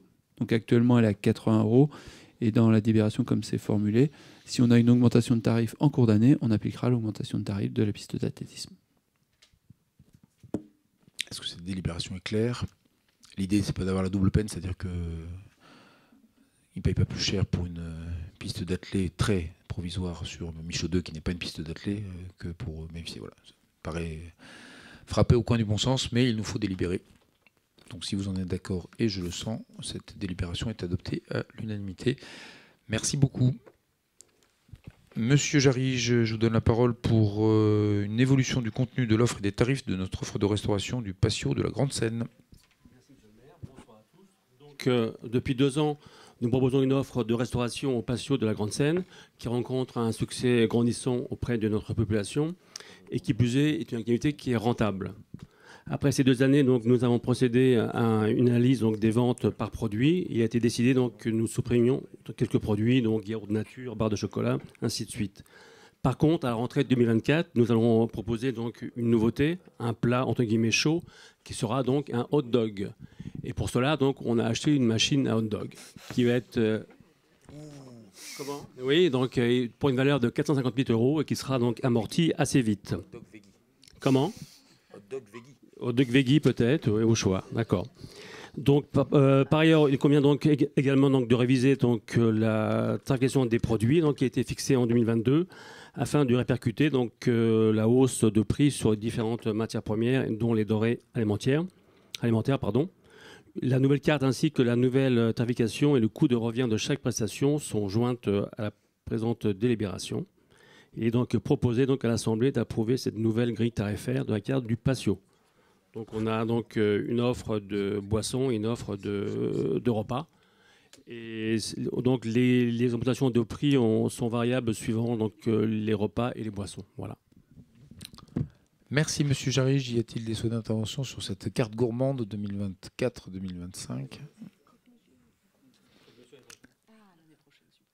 Pas de souhait d'intervention. Y a-t-il des votes contre? Des abstentions à l'unanimité. Merci et merci en tout cas pour cette première année euh, expérimentale, deuxième année qui, voilà, qui donc, trouve son public et qu'on fait évoluer. Euh, je passe maintenant la parole à Monsieur Ribert pour la traditionnelle délibération sur les modifications du tableau des emplois et des effectifs. Merci, monsieur le maire. Donc cette fois-ci, nous avons en l'espèce euh, à créer un emploi d'agent administratif territorial afin de permettre le recrutement sur un emploi permanent d'un agent qui est déjà dans la commune en tant que vacataire et qui exerce les fonctions de régisseur à la piscine municipale. Cet agent remplace un agent titulaire ayant effectué une mobilité interne dans un autre service de la commune. Ensuite, il convient de supprimer un emploi d'adjoint administratif territorial principal de première classe devenu vacant à la suite de la mutation d'un agent. La partie d'après est un peu plus intéressante, elle est, pas une fois par an. On est sur la promotion interne. On a eu euh, un gros travail fait par les ressources humaines au mois de février et de mars pour la préparation des dossiers de, des dossiers de promotion interne. Et on a huit euh, personnes qui ont été retenues. Et donc on a à ce titre la création de nouveaux emplois et la suppression des emplois Donc je vous les, les redis euh, rapidement. Euh, créer un emploi d'attaché territorial, qui était précédemment euh, donc rédacteur. Ensuite ingénieur territorial, technicien territorial, rédacteur, assistant territorial, animateur et enfin trois agents de maîtrise sont supprimés les postes qui étaient les postes tenus actuellement par les agents je voulais voilà, féliciter rapidement euh, bah, tous les agents qui ont obtenu euh, ces promotions internes. C'est, comme je le dis euh, régulièrement, il y a deux moyens d'évoluer. Hein. Vous avez les concours et la promotion interne. La promotion interne est quelque chose de difficile. Il faut avoir un dossier travailler, fouiller, euh, suivi des, formations et puis euh, euh, montrer qu'effectivement on est à la tâche depuis souvent longtemps hein, parce que les, évolutions de carrière dans la fonction publique sont parfois contraintes et compliquées. et évidemment ceux qui n'ont pas été retenus, eh ben, écoutez, on espère qu'ils le seront dans les années qui viennent. ils ont d'ailleurs reçu un courrier à ce titre pour évidemment les prévenir et leur indiquer qu'ils n'avaient pas été retenus cette année. Euh, dans certains cas, ils s'y attendent. Ils savent très bien que le système fait que des fois, on, propose 4-5 personnes et que ceux qui sont 3, 4, 5 n'ont que peu de chance. Mais cette année montre que les présenter au fur et à mesure leur donne plus de chances d'y accéder, puisqu'un certain nombre d'agents qui ont été promus cette année l'ont été il y a deux ans, l'année dernière et aujourd'hui. Euh, ça leur permet d'avoir des dossiers euh, qui passent. Voilà. Donc encore euh, une mention particulière pour les RH, c'est un, un, temps un peu ingrat et chronophage, refaire les CV, les dossiers, etc. Mais quand on arrive à, à ces résultats-là, tout, le monde est, tout le monde est pleinement satisfait. Voilà. Merci, monsieur le maire. Merci beaucoup et voilà, vraiment toutes nos félicitations. C'est une très belle, très belle cuvée ou, moisson, je ne sais pas ce qu'il faut dire. Et, euh, c'est de la satisfaction à la fois pour, euh, les collègues, pour les équipes euh, et pour tout, évidemment pour les agents, dont je redis hein, que c'est pas juste de la patience. pour beaucoup d'entre eux, ils ont présenté et parfois plusieurs fois le concours. Et, bien souvent, pour beaucoup d'entre eux, ils ont fait leur preuve professionnelle dans, une forme de régularisation, mais c'est toujours très gratifiant de, voir que ce, ce canal fonctionne. Y a-t-il des souhaits d'intervention? Y a-t-il des votes contre Des abstentions à l'unanimité? Merci. Monsieur Ribert, je vous redonne la parole pour euh, la part complément indemnitaire annuel avec modification du régime indemnitaire. Merci, monsieur le maire. pour rappel, le régime indemnitaire, il est en deux parties. C'est le, le RICEP. Vous avez à la fois la, partie IFSE, qui est liée euh, aux fonctions, à l'expertise et aux suggestions. Et puis, vous avez la partie CIA, euh, qui est plus sur la, pour faire simple, sur la manière de servir. Euh, en 2021, il avait été acté qu'elle serait revue deux fois par an. Et on avait essayé déjà il y a deux ans de, de modifier cette, cette durée en le passant en CST. Les organisations syndicales étaient était à l'époque euh, opposée. Euh, la Cour des comptes, Cour régionale des comptes, dans le rapport d'observation qu'elle nous a fait le 15 novembre 2023, euh, indique ceci. La commune révise le complément indemnitaire à l'issue de l'entretien annuel, puis à la fin du semestre suivant cet entretien. Cette seconde révision mobilise fortement le département des ressources humaines, alors que son impact sur la situation financière de chaque agent est très faible. Surtout, elle n'est pas régulière au regard des dispositions précitées, car elle n'offre pas les mêmes garanties d'expression et de recours aux agents que la révision effectuée lors de l'entretien annuel. La Chambre invite donc la commune à ne réviser le CIA qu'à l'issue de l'entretien professionnel annuel au cours duquel est apprécié le mérite individuel. Il est donc proposé au conseil municipal de modifier la périodicité euh, de l'appréciation portée pour le CIA en le portant à une fois par an en lien avec l'entretien annuel. Cette modification de la périodicité de révision du CIA devant faire l'objet d'un avis du CST, le, conseil, le comité pardon, social territorial, le sujet euh, avait été inscrit à la séance du 27 juin 2024. Merci Monsieur Ribier. Y a-t-il des souhaits d'intervention sur cette délibération technique? Madame euh, Bilger, vous avez la parole. non, c'était juste savoir quel a été l'avis du CST du coup puisqu'ils avaient refusé euh, manifestement des modifications. Euh, ils n'étaient pas, ils étaient pas pour euh, de façon uniforme. De mémoire, le FO a voté contre et 4 et 2 pour. Voilà, c'est ça. 4 contre et 2 pour. Et quelles étaient les justifications? Je ne sais pas si on peut les souhaiter les porter ou pas. Une euh. forme d'inquiétude sur le fait que euh, quelqu'un qui euh, pourrait avoir un CIA à la hausse va perdre six mois, mais en fait euh, l'inverse est vrai, c'est-à-dire que quand il à la baisse, il gagne six mois. Donc nous, on avait les mêmes arguments que c'était un temps extrêmement long. On est sur plusieurs réunions de 3-4 heures pour des fois des modifications de 2 à 6 euros. Donc c'est un temps de- très important, à la fois pour les ressources humaines, mais aussi pour les chefs de service qui refont des tableaux, euh, pour la notation, etc. Euh, donc plus une, une- inquiétude de, de- principe, euh, alors même que dans certaines communes, c'est une fois par an et c'est donné en une fois. Donc nous, on le mensualise parce qu'on sait bien aussi qu'en termes de gestion de, de ressources, c'est- plus facile de gérer mensuellement ce qu'on gagne plutôt que d'avoir qu'une fois par an. Donc c'était principalement cette, cette question-là. Merci. Y a-t-il d'autres souhaits d'intervention? Y a-t-il des votes contre? Des abstentions? À l'unanimité. Merci. Dernière délibération RH euh, concerne l'adoption du règlement intérieur applicable aux agents de la commune. Alors j'espère que tout le monde aura le règlement intérieur, c'est possible, parce que là, celui-là, il est en pièce en vrai. C'est parfait. Monsieur Ribert, vous avez donc la parole. Merci, monsieur le maire. Euh, alors, je vous rappelle effectivement qu'on avait un, règlement intérieur uniquement pour le CTM depuis maintenant trois ans. Euh, il y a eu un, travail important. euh, ensuite, on a eu d'autres dossiers. hein, le, le, le en faisait partie. Donc, on s'est mis à la tâche depuis maintenant un, an et demi pour pouvoir faire un, un règlement intérieur global qui inclut tous les services de la mairie et le CCAS. Donc il est rappelé qu'effectivement les collectivités territoriales et leurs établissements publics peuvent déterminer des règles d'organisation et de fonctionnement qui complètent les lois statutaires et leurs décrets d'application à travers un document, règlement intérieur des services. Il peut s'agir de, de règles en matière de santé, de sécurité, de discipline, d'organisation, euh, l'absence, l'utilisation des locaux et équipements. Il n'existe aucune obligation légale ou réglementaire d'adopter un tel règlement, mais son existence permet de contribuer au bon fonctionnement des services.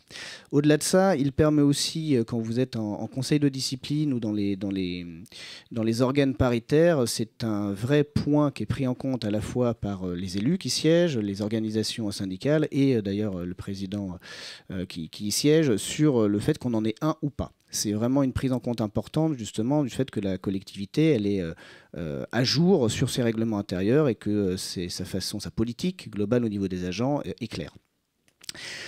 Donc, il a été le fruit d'un travail qui a été mené par les deux organisations syndicales représentées au comité social territorial et à la formation spécialisée en santé, sécurité et conditions de travail. Il a d'ailleurs reçu un avis favorable de ces instances le 24 juin dernier. Il devra évidemment être actualisé au gré de l'évolution de la législation, de la réglementation et des nécessités de service. Ce règlement intérieur, il est donc commun à ceux de la commune, aux agents de la commune et du CCAS, et doit donc être adopté par le conseil d'administration du CCAS et par le conseil municipal. Il entrera en vigueur dès son affichage dans les locaux municipaux et sera notifié individuellement à chaque agent. Avec la période des vacances, c'est une, notification qui prendra euh, tout, l'été. hein. On estime que l'intégralité des agents auront été notifiés d'ici à la fin août. Il est donc demandé au conseil municipal d'approuver des termes du règlement intérieur des services de la commune.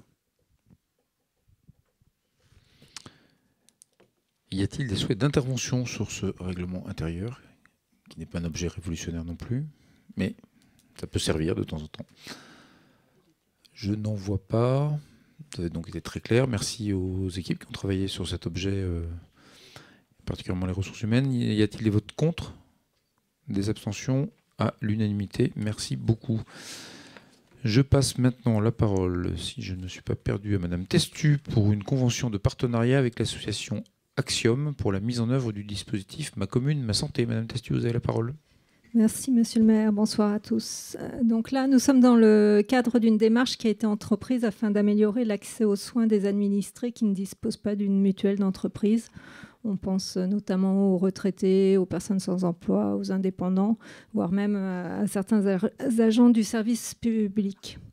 Aujourd'hui, ces personnes, elles ont à leur disposition soit la, complémentaire santé solidaire de la CPM, mais qui est soumise à, à conditions de ressources, euh, soit le dispositif de la région Île-de-France Mutuelle Santé qui ne correspond pas nécessairement aux attentes des administrés.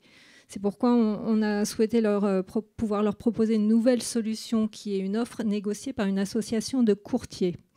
On a pris contact avec les différentes associations qui proposent ce type de, partenariat et c'est l'association Axiom qui nous a semblé euh, offrir la solution la plus intéressante. Euh, c'est une association qui a de nombreuses références alentour. elle propose de tenir une permanence régulière dans nos locaux, enfin dans les locaux du CCS. Elle propose huit offres négociées avec quatre mutuelles différentes et euh, la collaboration est sécurisée par une convention. Il n'y aura pas de coût pour la collectivité. Euh, les administrés qui seront intéressés devront seulement adhérer à l'association pour une somme modique. En général, c'est euh, un euro par mois, je crois. Euh, pour ça, nous devons mettre à la disposition de l'association un local pour faire les permanences et c'est pourquoi nous vous proposons de conclure une, convention de partenariat tripartite entre l'association, la commune et le CCS afin de déterminer les engagements réciproques entre le CCS et l'association et les modalités de mise à disposition à titre gracieux d'un bureau au sein de l'hôtel de ville de la commune déléguée. Et euh, c'est une délibération qui a déjà été adoptée au conseil d'administration du CCS le 24 juin dernier. Merci beaucoup, Madame Testu. Y a-t-il des souhaits d'intervention sur cette euh, convention? Je vois des mots approbatrices. Donc, euh, on va passer au vote. Y a-t-il des votes contre, des abstentions? À l'unanimité Merci. Madame Testu, vous gardez la parole pour une autre convention, cette fois-ci de partenariat entre le CCS et les associations de la commune. Oui, tout à fait, puisque le, 26 novembre dernier, nous avions adopté les termes de la convention de partenariat cadre entre la commune et les associations de la commune qui bénéficient d'une mise à disposition de locaux et où reçoivent plus de 23 000 euros de subventions, que ce soit en numéraire ou en nature par la mise à disposition de locaux. Et en fait, on s'est rendu compte que cette convention ne traitait pas le cas où les associations bénéficient d'une subvention en numéraire de la part de la commune et d'une mise à disposition de locaux de la part du CCAS. Et c'est notamment le cas d'un club senior de la commune pour lequel le CCS met à disposition des locaux au sein de la résidence Les Chênes Verts. Et il est également possible qu'à l'avenir, le, le, CCAS fasse bénéficier euh, des salles communes des résidences sociales à certaines associations. C'est pourquoi nous vous proposons donc d'approuver les termes de la convention de partenariat tripartite type commune CCS association jointe à la délibération et d'autoriser le maire ou son représentant à la signer. C'est une convention qui a été basée sur celle que nous avions approuvée le 26 novembre dernier. Et euh, cette même délibération a été également adoptée par le conseil d'administration du CCS le 24 juin dernier. Merci beaucoup, Madame Destu. Y a-t-il des souhaits d'intervention sur ce projet de délibération Madame Alquier, vous avez la parole. Si, alors nous restons euh, opposés à la tarification que vous avez mise en place pour les associations. Donc nous ne voulons pas nous associer, euh, même s'il est normal d'avoir une convention. Nous ne sommes cohérents et donc nous, nous restons opposés à cette façon de faire vis-à-vis -vis des associations. C'est bien noté. Y a-t-il d'autres souhaits d'intervention? Y a-t-il des votes contre?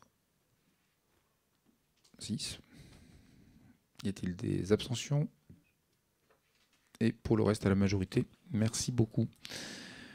Délibération suivante concerne l'octroi de la protection fonctionnelle à un élu municipal, en l'occurrence Madame Majou. Euh, je ne reviens pas sur, la nature de, de, des postes qui ont été adressés. Je voudrais juste euh, avoir un propos un peu général euh, lié à ce qu'on peut lire sur les réseaux sociaux. Euh, vous avez un peu de jurisprudence dans ce projet de délibération qui rappelle la, dégradation de la manière dont les élus sont traités sur les réseaux sociaux. et je parle de tous les élus, majorité, opposition, etc. J'ai souhaité, c'est moi qui ai demandé à Mme Majou de déposer plainte, pas elle, c'est moi qui ai demandé, euh, parce que à un moment, alors ça vaut pour les élus de la majorité, ça vaut pour les élus de l'opposition, quand on est personnellement, régulièrement mis en cause par des gens qui ont, euh, voilà, courageusement choisi l'anonymat, euh, ben à un moment, voilà, quand ça dépasse la dose prescrite, en l'occurrence là, d'aucuns pourraient considérer que les faits sont pas très graves, mais c'est plus une accumulation de mise en cause régulière. Euh, c'est la petite goutte d'eau qui fait déborder le vase, qui peut que certains ou certains d'entre vous euh, voilà, aient envie de démissionner, euh, aient envie de, gestes un peu sombres, ça arrive, pas qu'ailleurs. Moi, je considère que c'est de ma responsabilité de passer au cran d'après, donc de permettre aux services de police, qui ont évidemment des pouvoirs d'investigation que nous n'avons pas, voilà, mais de mettre les gens face de la responsabilité. La probabilité que l'enquête aboutisse n'est peut-être pas très importante, j'en fais une question de principe. En tout cas, pour le cas d'espèce, la personne qui, ou là où les personnes qui euh, voilà, s'en prennent personnellement à Daman Majou depuis le début du mandat sont forcément des gens bien renseignés, bien informés. Ce pas des gens qui habitent dans un pays euh, éloigné. Voilà, donc euh, j'envoie aussi un message. Voilà, on peut ne pas être d'accord, on peut parfois voir le ton monter. La lâcheté sur les réseaux sociaux, c'est quelque chose qui m'insupporte profondément. Donc je le dis pour les élus dont j'ai la responsabilité, mais je le dis aussi pour les élus d'opposition. Si d'aventure, à un moment, vous considériez que vous êtes euh, personnellement maltraité, je, vous me trouverez et je procéderai de la même manière. Euh, je vous inviterai à déposer plainte parce que je ne peux pas le faire pour vous et je demanderai la protection fonctionnelle. Parce qu'à un moment, on a des vies qui ne sont pas complètement simples, on est toutes et tous exposés. On peut ne pas être d'accord, le ton peut monter, moi j'ai pas de sujet, etc. Ça nous arrive. Mais à un moment, le respect de la personne est quelque chose que je considère comme étant important. En tout cas, je vous le dois. Et donc, euh, à ce titre, je, l'ai fait, je le redis, hein, ce n'est pas Madame Ajou qui me l'a demandé, c'est moi qui instamment, euh, au énième mail, lui ai dit cette fois-ci tu vas aller déposer plainte, outre le fait que ça prend un peu de temps. Et euh, voilà, et je veux redire hein, que je, considère que le Conseil vous doit, entre guillemets, à toutes et à tous, protection quand vous êtes personnellement et euh, injustement, mais voilà, cité et exposé. Voilà l'objet de la libération, Monsieur de Châtelu. Savoir que recouvre cette protection fonctionnelle? Excellente euh, question, monsieur le directeur général de service. Alors, vous allez prendre un micro, vous vous approchez parce que sinon je vais me faire euh, houspiller par la, technique. Alors, la protection euh, fonctionnelle consiste à prendre en charge les frais de défense de l'élu dans le cadre des contentieux qui pourraient être engagés contre la collectivité et contre elle en particulier. Et du coup, s'il y a condamnation avec versement de dommages et intérêts, etc., ces dommages et intérêts vont à la personne, j'imagine, directement Oui, tout à fait. Ok, merci. Merci, Madame Bilger. En fait, c'est tout à fait technique. C'est qu'en fait, j'avais cru comprendre que depuis mars 2024, il n'y avait même plus besoin de délibérer. C'est-à-dire que tout que maire, adjoint au maire, et etc., euh, bénéficiaient de fait euh, de cette protection fonctionnelle. Euh, et qui, en fait, il suffisait d'une information. Si la délibération n'est pas obligatoire, elle peut être proposée. D'accord. Ok, merci on va dire que cette délibération vaut information. Et on, vous épargnera à ce moment-là, mais je vous en informerai si d'aventure d'autres situations étaient, euh, étaient à déplorer. C'est pour un degré d'urgence, en fait. Alors, il y a pas. S'il y avait un degré d'urgence pour un élu, il n'y a pas, pas d'urgence, mais je profite. De délibérer, en fait. C'est hein, pas interdit, voilà, euh, mais c'est pas obligatoire. Et donc, oui, merci de cette précision. Donc, s'il y avait, voilà, pour l'un ou l'autre d'entre vous, situation d'urgence, vous n'êtes pas obligé d'attendre le prochain conseil municipal. Merci pour cette précision. Il y a Madame, Madame Alquier. Euh, si je puis me permettre, si on pouvait avoir ce même euh, sens du respect à l'intérieur de ce même conseil, ce serait quand même bien. Je, ne fais, je ne peux que partager. Il faut que le respect soit juste réciproque, mais je ne doute pas que chacune et chacun y travaillera pendant l'été. Je pense qu'on pourrait avoir des débats vifs mais courtois. Voilà. Sur ce, y a-t-il d'autres souhaits d'intervention? Y a-t-il des votes contre? Des abstentions? À l'unanimité informative? Et euh, voilà, merci et je vous tiens au courant si jamais l'enquête avançait, même si je suis euh, forcément un peu réservé. Monsieur Ribert, vous revoilà pour euh, la transformation d'un nom de commission. Je vous laisse la parole. Merci, monsieur le maire. donc effectivement, l'objet est de transformer simplement le, nom de la commission transition écologique euh, qui date de 2020 en commission responsabilité sociétale et environnementale. Euh, il est rappelé que la RSE permet de conjuguer les performances économiques, sociales et sociétales et environnementales. Elle définit comme la responsabilité d'une organisation vis-à-vis des impacts de ses décisions et de ses activités sur la société et sur l'environnement, au moyen de l'adoption d'un comportement transparent et éthique qui contribue au développement durable, y compris à la santé et au bien-être de la société. À ce titre, l'équipe municipale souhaite développer la RSE, notamment par le développement de sa politique de ressources humaines, mais également par la garantie d'une meilleure prise en compte des personnes en situation de handicap et de matière générale, davantage d'inclusion.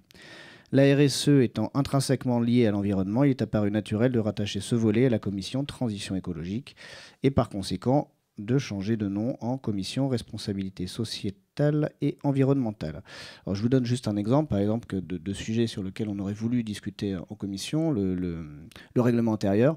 Le règlement intérieur n'avait aucune finalement commission euh, dans laquelle il pouvait être porté, y compris euh, ce qu'on appelle des fois la, commission euh, balai avec euh, les finances, puisque euh, par définition, il n'y a pas d'aspect financier euh, euh, à cette, euh, au, au règlement intérieur.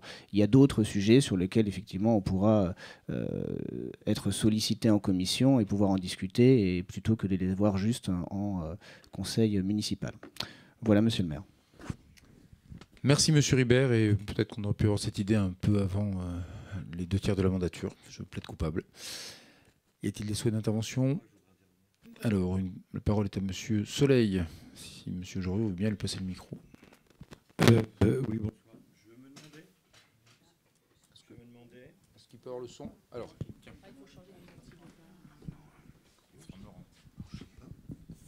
Excusez-moi, je me demandais s'il n'y avait pas un risque de confusion dans la mesure où RSE, dans le langage commun, ça ne veut pas dire ça, et ses propres entreprises. RSE, ça veut dire responsabilité sociétale de l'entreprise. Est-ce que c'est opportun de prendre le même terme pour dire deux choses différentes? C'est une question. On va laisser sa chance au produit, comme on dit. Voilà, donc pour les anciens du monde de l'entreprise, on précisera à l'entrée de la séance que ceci n'est pas une. euh, voilà, mais voilà, il faut garder l'esprit. L'idée, c'était de ne pas se retrouver. C'est pas la première fois, je le dis, que ça nous arrive euh, d'avoir des délibérations sur des sujets un peu importants sur lesquels nous estimons que ça mérite un temps de débat en amont du Conseil et qu'on se retrouve euh, le bec dans l'eau parce que les périmètres ou la désignation de nos commissions sont trop restreints. Euh, et comme le dit M. Ribert, et pour que je crois que vous y avez passé suffisamment de temps, la commission finance avait un petit côté voiture balai fourre-tout, mais il y a des moments où il n'y a vraiment aucun impact financier, et pour autant qu'on a très envie d'avoir un temps d'échange qui est qui est pas forcément idéal en conseil quand on est euh, voilà, à, débattre et à voter dans la foulée. Voilà, donc s'il faut qu'on réadapte, l'idée n'était pas non plus de multiplier, euh, de recréer une énième commission, parce que le temps n'est pas infini et tous ceux qui siègent en commission me détestent chaque jour un peu plus à chaque conseil de devoir venir siéger. Donc euh, voilà, je pense que cette solution me paraît euh, un compromis honorable. Y a-t-il d'autres souhaits d'intervention? Madame Bilger. Ju- Juste une question un peu plus générale, puisqu'on parle commission. Euh, avant de rebaptiser une commission, serait-il possible qu'on ait des comptes rendus des différentes commissions? Alors, euh, vaste sujet. Parce que Non, mais parce que je rebondis. Alors, vous me direz que c'est pas le sujet, etc. Mais il n'y a, pas de. Mais effectivement, je, je- ce qui m'a interpellé à l'occasion du dernier conseil municipal, c'est effectivement la remarque de euh, Monsieur Le Grel sur euh, ce- euh, le compte rendu de la commission urbanisme. Alors, je me suis rapproché de Caroline, n'étant pas en commission urbanisme, et le fait est que dans les commissions dans lesquelles je suis, nous n'avons jamais de compte rendu, et en commission urbanisme non plus. Euh, donc, est-ce qu'avant de rebaptiser une commission, ce qui est fort louable, on peut rajouter des sujets, mais est-ce qu'on pourrait déjà avoir, surtout quand on n'y a pas assisté, bon, pour euh, Alors, je- je- ou mauvaises je- raisons J'aurais très envie de vous dire oui. Euh, je les ai jamais connus dans le temps d'avant. C'est pas un reproche, c'est juste, c'est juste qu'à un moment, il faut que quelqu'un s'y colle pour le compte rendu. Surtout qu'en en, en l'espèce, il faudrait que le compte rendu sorte assez vite, idéalement avant Bien le sûr, conseil. ouais. Euh, vous connaissez, euh, voilà, euh, en commission, il y a les élus, il y a parfois un peu l'administration. Voilà, le greffier, s'il en faut un, voilà, soit c'est un des participants qui s'y colle. Le sujet, enfin voilà, sur le principe, j'ai rien. Alors peut-être, je me tourne vers mon excellent directeur de cabinet. peut-être qu'aujourd'hui, avec les outils d'intelligence artificielle, vous l'avez sur vos téléphones. Aujourd'hui, il y a des fonctions qui permettent d'enregistrer, de transcrire rapidement. Alors, ça veut dire qu'on se retrouve aussi avec des des longs verbatims, c'est pas génial non plus. Mais honnêtement, vu le nombre de commissions, hein, il y a, a 6-7 commissions en deux jours, euh, j'ai pas de solution simple en dehors de faire venir un sténo, mais là, euh, c'est tout de faire des minutes, hein. Non, non, mais au compris. moins qu'on ait une trace de ce qui a été évoqué et des votes, c'est tout. Voilà. Ça, oui, et ça, euh, surtout que, sauf erreur, Oui. je ne l'ai pas Mais- relu. mais il me semble qu'on l'a normalement. Non, bah non. Ça, on ne l'a pas. hein. En Alors, tout cas, il- nous- ça pour le coup, il est fait et ça, Ah ça bah- peut être scanné, ça peut être scanné, mais c'est très sommaire. hein. Ça veut dire qu'on a, voilà, c'est Oui, tant de mais points. si je rebondis sur la question de l'autre jour, on ne sait même plus euh, de quoi on a discuté. Bah, vous avez- Et alors, sauf erreur, Vous avez, des, puisque vous je avez des heures du jour quand même. Bien sûr. Non, mais ils disparaissent. C'est-à-dire que si on veut se référer à quelque chose d'il y a quelques mois, non, c'est- pas assez. D'accord. Voilà. Donc, euh, et puis, si on veut être très pointilleux, comme je sais qu'il y a certaines personnes qui sont pointilleuses, Bon, alors, pour ça fait coup- partie du règlement. Pour le coup, c'est pas Voilà. très compliqué de, de vous redonner accès aux, aux heures du jour, puisque ceux-là, ils sont diffusés, c'est une obligation. D'indiquer, alors il n'y a pas toujours des votes, d'ailleurs, des fois, vous ne souhaitez pas voter, c'est pas une obligation d'ailleurs. Euh, si effectivement euh, le sujet, c'est de retrouver la traçabilité des points qui ont été abordés dans les commissions, ça, c'est pas très compliqué, c'est- il faut juste vous redonner accès finalement aux heures du jour. Et voilà. Et, c'est- un moindre mal par non c'était le degré de, de granularité Euh, Il voilà. ne s'agit pas de demander mais euh, bon des on va minutes, euh, hein, mais donc oui au moins de traçabilité. Techniquement, ça me paraît pas, euh, je parle sous le contrôle de l'administration, impossible de, de- de vous redonner accès. Non, sur la tablette, je sais qu'ils disparaissent. Après, euh, effectivement, quand vous allez sur vos ordinateurs, il y a combien? Il y a six mois de. Non, vous les retrouvez intégralement? Oui, voilà. Mais tout le monde. Tout le monde voilà. Ok, Madame Alquier. Euh, bah, je voulais quand même faire remarquer que moi, je prenais la peine de faire un compte-rendu de la commission finance, mais qu'elle n'est diffusée à personne. Je ne sais pas pourquoi. Donc, si on pouvait diffuser au moins ce pour quoi je... Alors, ça supposerait que je sois en situation d'y avoir De- accès, qu'il soit relu et partagé, parce que Et, des ah fois, il les est, comptes envoyé- rendus. Les il comptes est rendus- bien sûr envoyé Oui. à, à Monsieur Aubé, Ok. enfin, à Oui, tous mais ceux- voilà. voilà. Mais pour autant, il fait, voilà, il non, fait- mais il fut un temps où on, on avait des comptes rendus des commissions. hein. Oui, vous- pas, pas longtemps et pas beaucoup. Donc voilà. euh, voilà. Donc j'ai. bon. Donc j'ai vu euh, là en commission finance, effectivement, il y a un compte rendu que vous faites et qui est diffusé uniquement, enfin qui est rapporté à l'administration. C'était exactement la même chose quand j'étais à la commission urbanisme. Donc je pense que c'est plutôt un- une question d'organisation et d'appliquer les mêmes, les mêmes choses à toutes les commissions. Voilà, de se caler, comme dit Monsieur le maire. Après, je, re- je redis, si, si, si le compte-rendu est extrêmement synthétique et ne prête pas à débat, il peut être diffusé vite. Si le compte-rendu commence à avoir du texte, il est soumis à interprétation, et là, ça commence à devenir un peu plus compliqué. Voilà. Soumis de toute façon à l'élu euh, Hmm. de référence. Ok. donc, euh, Bon, donc on prend euh, marge de progrès pour la rentrée. Ok. euh, Est-ce qu'il y avait un vote euh, Donc euh, voilà, transformation du nom. Y a-t-il Alors y a-t-il des votes contre? Non. Une abstention. Et donc à la très grande majorité, ce changement de nom est adopté. Et euh, je passe pour la dernière délibération du temps régulier la parole à Monsieur Ribert pour l'adhésion à l'association des amis des forêts de Versailles et Fausse Repose. Merci, monsieur le maire.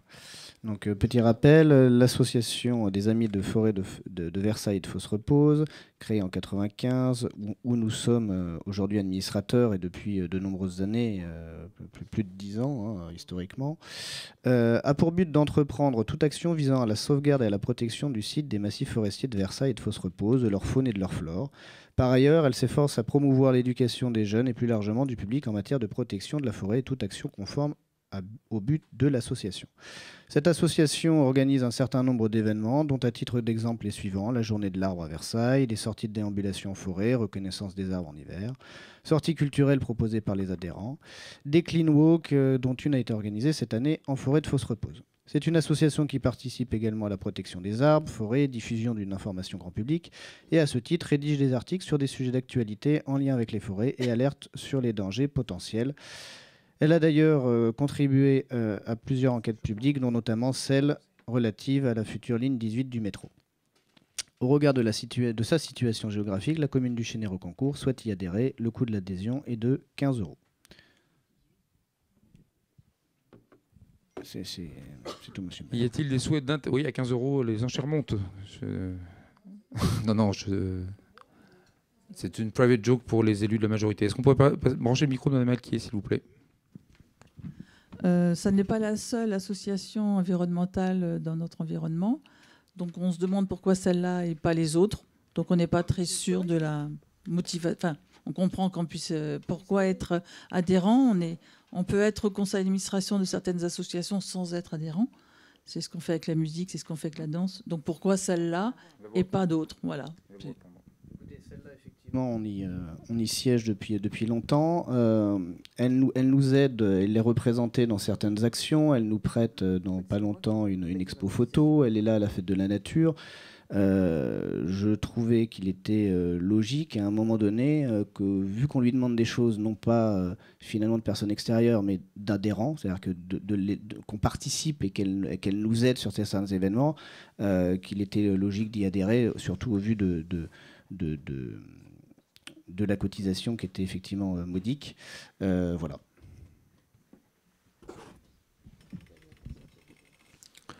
Y a-t-il d'autres souhaits d'intervention avant de peut-être dépenser 15 euros? Des votes contre Des abstentions? À l'unanimité, merci. Nous arrivons au terme de ce conseil. Avant de passer la parole à Madame Alquier pour la question diverse, est-ce qu'il y a des souhaits d'intervention? Et les questions? A les questions, sinon Ah pardon, autant pour moi, merci de votre vigilance. Euh, est-ce que vous souhaitez avoir, est-ce que vous avez eu le temps de parcourir la convention? Est-ce que vous voulez prendre 5 minutes? Alors, suspension de séance, euh, et Madame Alquet, vous nous dites quand vous avez euh, eu le temps de prendre connaissance de la convention.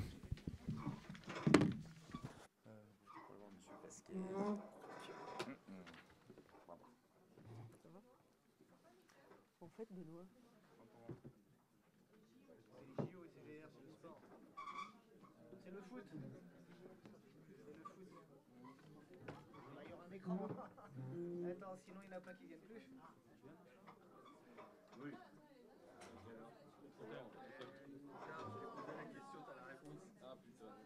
On a mis des sports euh, historiques, tu vois, il y aura de la lutte. euh.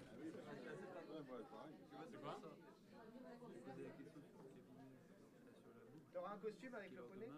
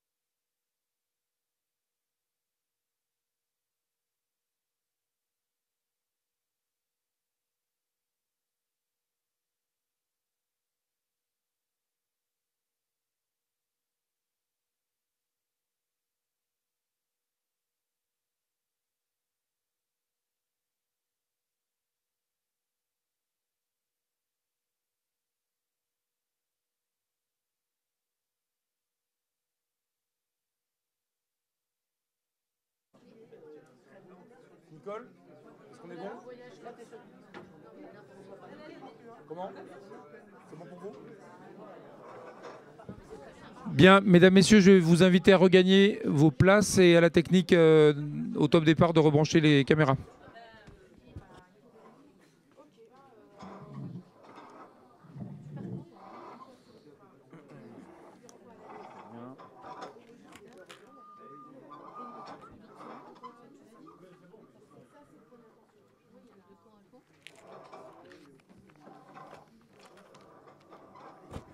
Mes chers collègues, est-ce qu'on peut regagner nos places respectives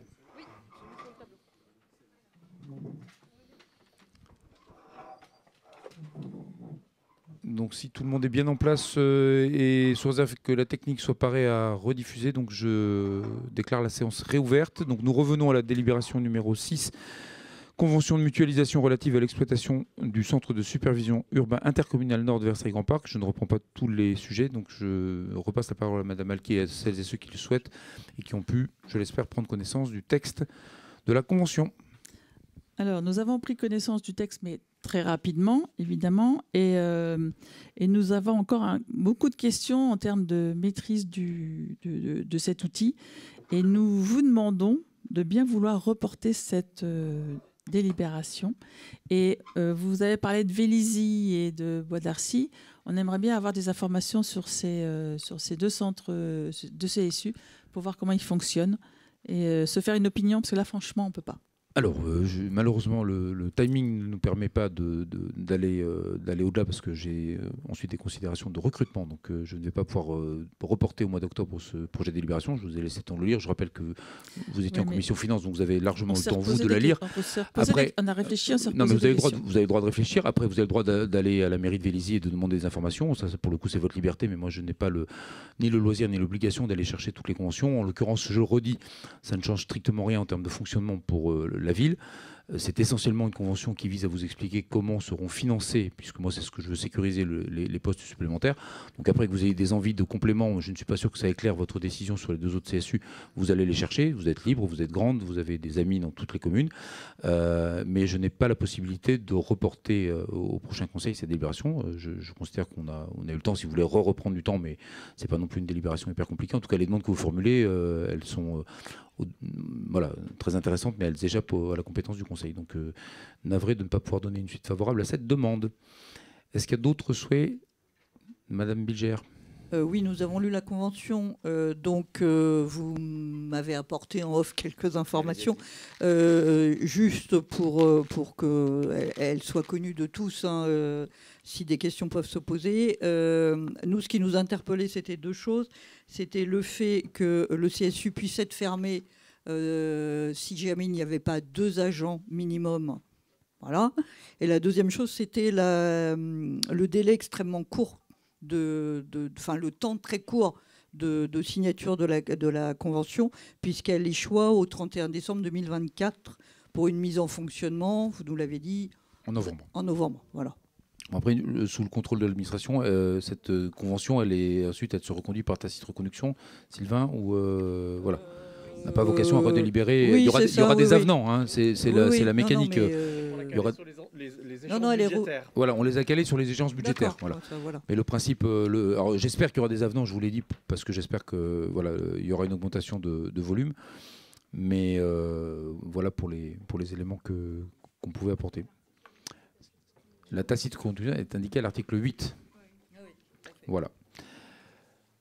Je vais donc maintenant passer au vote. Y a-t-il des votes contre? Donc, si vote contre, y a-t-il des abstentions?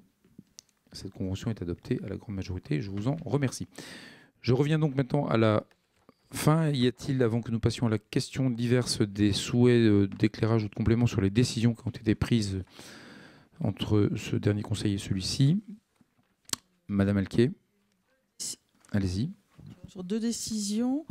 Euh, la décision euh, 19 qui concerne la surélévation du, bah, du local de, où se trouve Aldi, qui a l'air de poser problème avec des recours euh, plur- pluriels. Euh, comment voyez-vous la situation?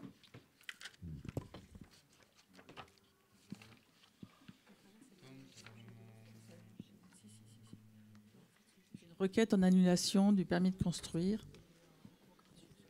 avec un recours de Aldi Marché Alors, et de la pharmacie. Jérôme, est-ce que tu souhaites intervenir si tu as. Jean-Louis Vas-y. Donc, pardon, mais donc, comme vous le savez peut-être, euh, donc, monsieur, euh, il y a une, une action qui était depuis maintenant euh, un an, donc, qui est engagée par Monsieur Abou en face euh, de Aldi, afin de pouvoir récupérer donc euh, le local Aldi pour lui-même mettre son propre euh, supermarché. Et donc à partir de là, donc Monsieur Abou est prêt à aller jusqu'au bout. euh, donc euh, de la situation. Donc lui, il ne cédera pas donc à Aldi. Donc voilà, c'est tout ce qu'il en est aujourd'hui. Mais il n'y a rien d'autre de spécial. C'est vrai que lui avait prévu donc de faire un étage avec un cabinet médical. Donc ça depuis maintenant deux ans. Donc ça s'est arrêté du fait que Aldi donc a pris donc la partie basse pour le commerce et donc pour l'instant c'est en stand-by. Il n'y a rien de, de plus. Moi j'ai encore eu au téléphone il y a un mois et demi. Donc euh, il me dit non, j'irai au bout avec Aldi. Voilà. Donc euh, donc c'est une guerre entre, entre avocats, entre, entre eux deux, donc, et je pense que chacun ira au bout. Voilà ce qu'il en est aujourd'hui. Et donc on se protège si jamais on était mis en cause dans l'instruction du permis de construire. C'est aussi simple que ça, c'est classique. Il y a pas de, enfin, on n'est pas, on n'est pas partie prenante. On instruit les PC. Donc s'il y a, s'il y a des litiges sur les PC, on pourrait être mis en cause. Donc on se borde classiquement. Mais c'est, voilà, ce sont des affaires, euh, des affaires privées. On n'est pas partie prenante d'un ou l'autre des, des projets. Autre sujet d'intervention. Et ma deuxième question, c'était sur la décision numéro 23, Mhm. euh, qui concerne l'assistance à maîtrise d'ouvrage pour la mise en œuvre réglementaire du projet Super U, dans le cadre d'une procédure d'évolution du PLU. Donc, c'est quel est le, quels sont les détails de cette modification ou de cette intervention? Jérôme, tu veux Y a-t-il en redire un- quelques un mots projet en cours Ah, Y euh, a-t-il- euh, Enfin, euh, bon, Il n'y a pas de mystère. Le, au-delà le- du fait le- qu'on en parle depuis le 20 projet- ans. Voilà, le projet On existe depuis d'accord, mais 20 bon, ans. Il y a que peut-être le- quelque chose qui se, qui se précise là. Hmm, Jérôme Euh, et il y a- enfin, on avance dans le projet et donc il y a un certain nombre de, de sujets qui nécessitent effectivement de regarder euh, les éventuelles évolutions en matière de, PLU euh, et donc pour lesquelles on a besoin d'une assistance, voilà, en lien avec euh, les, promoteurs de l'opération. Mais pas d'avancée spécifique, hein, on est dans le temps long du projet. Voilà, et donc je le redis, euh, la, structure générale du projet, elle, est, elle, a été partagée. On est sur à la fois une rénovation du Super U, un parking souterrain, l'ouverture d'une centre, une centaine de logements, tout ça est, tout ça est connu, euh, voilà, et euh, on est toujours en attente des actes de cession d'un certain nombre de propriétaires. Voilà, et comme dit Monsieur Le on est sur du temps long, très long, très très long. Donc voilà, je, n'ai pas beaucoup changé tant tant qu'ils n'ont pas déposé un PC, mais ils n'ont pas déposé de PC. Donc euh, si demain tout s'arrête, demain tout s'arrête. C'est une opération euh, extrêmement ambitieuse, mais pure privée. Donc euh, nous par contre, depuis, de- non, parce que le jour où ils déposent un PC, il faut qu'on ait travaillé tout l'environnement extérieur, no- notamment les adaptations de voirie. hein. Quand vous préparez un parking souterrain, il faut penser aux entrées et aux sorties. Et pour le coup, elles sont sur le domaine public. Donc heureusement qu'on a anticipé un certain nombre de choses, parce que le jour où ça démarre, si on met nous trois ans à préparer toute l'adaptation de l'environnement, c'est un peu compliqué. Quand vous ouvrez une sente, voilà, une sente, ça fait une entrée, une sortie. euh, Il y a des desserts. Quand il y a des logements, il faut que les camions poubelles passent. Voilà, donc on n'a pas attendu. On a peut-être travaillé pour rien. Ça fait partie euh, des risques du métier. Mais la nature globale du projet et l'impact vis-à-vis du monde extérieur, voisins, utilisateurs des voiries. euh, Il y a un hôtel qui est prévu au-dessus. Un hôtel, ça veut dire des desserts, ça veut dire des bus, etc. Donc il y a tout un tas de sujets qui ont déjà été euh, examinés avec des réserves de la ville sur euh, des, contraintes d'utilisation. Mais, mais pour autant, je redis, c'est pas une- pas une opération cofinancée par la ville. Donc on est voilà, le jour où ce sera une très grosse opération, une vraie transformation extrêmement ambitieuse, mais pure privée. Voilà, donc ça ne veut pas dire qu'on s'y désintéresse, on, y est même plutôt très attentif, mais avec, euh, humilité, parce que je peux même pas leur dire à un moment, c'est maintenant c'est terminé, vous arrêtez, et, euh, puis si ça dure encore 15 ans, ben, ça dure encore 15 ans. Comme ça fait déjà 20 ans que ça dure encore un an de plus, euh, voilà, M. Sajot prend de l'âge, de la maturité, j'espère qu'un jour il arrivera au bout de cette opération, mais comme toutes ces opérations, c'est évidemment soumis à la capacité à se mettre d'accord avec d'autres propriétaires. Voilà, ça c'est le jeu des affaires. Est-ce que... Alors, Madame Fauvel. D'où ma question sur la décision numéro 5. Oh, si vous revenez en arrière, je suis Non. perdu. Oui, oui. Attendez, Euh, modification du carrefour rue Potier, rue Pierre Cholin. Donc c'est bien ce, le carrefour qui est derrière nous dont on parle. Alors, euh, hop là. Hum, hum, hum, J'y retourne. Euh, Oui, c'est corrélé. C'est corrélé à ce qui pourrait se passer avec Super U. Exactement. C'est pas des travaux pour tout de suite. Euh, ça, ils peuvent déposer le PC dans un mois. Super U, ça fait 20 ans que le dossier est en. comme vous savez, comme l'excellent resto de viande, c'est un dossier mature. Ça peut être très bon ou euh, voilà. Donc en l'occurrence, ils ont eu le temps de réfléchir. Donc le, jour, le, jour où ils, ont, se sont mis d'accord, etc., le PC peut être déposé très vite. Auquel cas, il faudra qu'on on embraye assez rapidement. Après, il ne veut pas une pelleteuse demain matin, si c'est ça votre question. Il y a un peu de temps d'instruction. Ça va être un gros, PC ou une juxtaposition de plusieurs permis de construire. Donc euh, voilà, mais euh, voilà, ça, dans l'absolu, ils peuvent arriver euh, au mois d'août en mairie avec PC pour instruction. D'autres questions, Madame Bilgère Alors on ne revient pas en arrière, on avance, c'est sur la 24e. Euh, concernant la convention de mise à disposition d'emplacement sur la voirie commune. Euh, il s'agit en fait d'une poursuite de la convention. Euh, Là aussi, on est sur la tacite reconduction. vous avez, si vous suivez l'actualité de cet opérateur, il y a un certain nombre de communes où l'opérateur a décidé d'arrêter. Il, il en a le droit. Euh, il ne l'a pas fait au Chenet, nous ne l'avons pas fait non plus euh, par rapport aux échanges qu'on avait eus, aux inquiétudes légitimes, à la place de ce service. Euh, moi, je trouve qu'il a trouvé sa place. Je constate qu'on a plutôt des utilisateurs civiques. On n'a pas trop de dépôts sauvages. Je ne dis pas que les trottinettes sont pile à l'endroit où, mais globalement, je trouve que les gens respectent plutôt pas mal. On a une utilisation qui est plutôt jeune, plutôt de soirée, de fin de soirée, de début de nuit. Euh, et qui en tout cas euh, permet et à l'opérateur et à la ville de, s'y retrouver, puisque eux euh, voilà, n'ont pas d'état d'âme quand le, bilan économique n'y est pas. Ils, ont, ils ont arrêté assez brutalement à Buc et, aux loges parce que l'impossibilité de relier la gare de Versailles-Chantier en trottinette était un vrai problème pour eux opérateurs. Mes collègues élus étaient eux un peu déçus parce que voilà. Donc nous, euh, en tout cas pour l'instant, le, service est autonome euh, sur euh, les déplacements intracommunaux. Si un jour, si un jour la ville de Versailles consent à ce qu'on puisse se déplacer jusqu'à la gare de Versailles droite, ça modifiera peut-être la donne, mais il apporte voilà la, taille de la ville fait que ça apporte ce complément de service. Je, l'utilise de temps en temps avec voilà que de temps en temps la tristesse de voir que certaines stations sont moins sont moins bien équipés, mais c'est le charme des, voilà, du free floating. Et donc, à un moment, vous, vous avez des rééquilibrages. Hein, l'opérateur, de temps en temps, passe rééquilibrer, mais euh, euh, voilà, euh, le, quand la trottinette ou le vélo est là et que vous avez l'appli dans la poche, eh ben, vous gagnez 5 ou 10 minutes, ce, qui peut être, ce qui peut être appréciable à certains moments du jour et de la nuit dans vos déplacements. Donc pour l'instant, on le reconduit. Hein, euh, on est euh, intéressé très modestement au chiffre d'affaires, mais globalement, maintenant qu'on a fait la peinture, euh, j'allais dire chaque année de reconduction, tout, ce qui est gestion de la flotte, c'est pas pour nous et on, a juste un, intéressement sur le chiffre d'affaires. Après, c'est pareil, on ne fera pas fortune, mais globalement, voilà, c'est transparent. Et, et j'en suis très heureux. Pour l'instant, on n'a pas déploré de, cas euh, d'accidents, de, voilà, de, de inciviques. Ces objets-là roulent plutôt sur la chaussée, j'en vois quand même peu sur le trottoir parce que le vélo, bien évidemment pas, mais et, même le vélo est lourd, la trottinette est lourde, donc c'est quand même des objets sur lesquels, euh, sauf à être peu respectueux des piétons, on n'a pas envie d'aller rouler sur les trottoirs. Et donc, euh, ceux qui les utilisent, ils les utilisent sur la voirie. Et comme les pistes aménagement cyclable progressent, de plus en plus, on, se sent mieux ou bien accueillis sur nos voiries. Non, en fait, on avait évoqué un bilan euh, après euh, une année d'utilisation. On l'a demandé. Voilà, donc euh, c'était en fait la raison de ma question. Non, non, mais je, je l'ai demandé, Monsieur Vasquez. Est-ce que voilà, donc dès que dès qu'il dès qu'il arrive en vrai, on vous le renvoie. On a eu un bilan. Alors, on, a eu la synthèse mensuelle de, l'utilisation. Donc ça, on peut vous redonner mois par mois, mais je voudrais qu'on ait le bilan, y compris d'ailleurs le, bilan chiffré. Voilà. Est-ce que vous avez encore d'autres questions sur les décisions ou est-ce que je peux passer la parole à Madame Alquier pour la question diverse? Madame Alquier, vous avez la parole.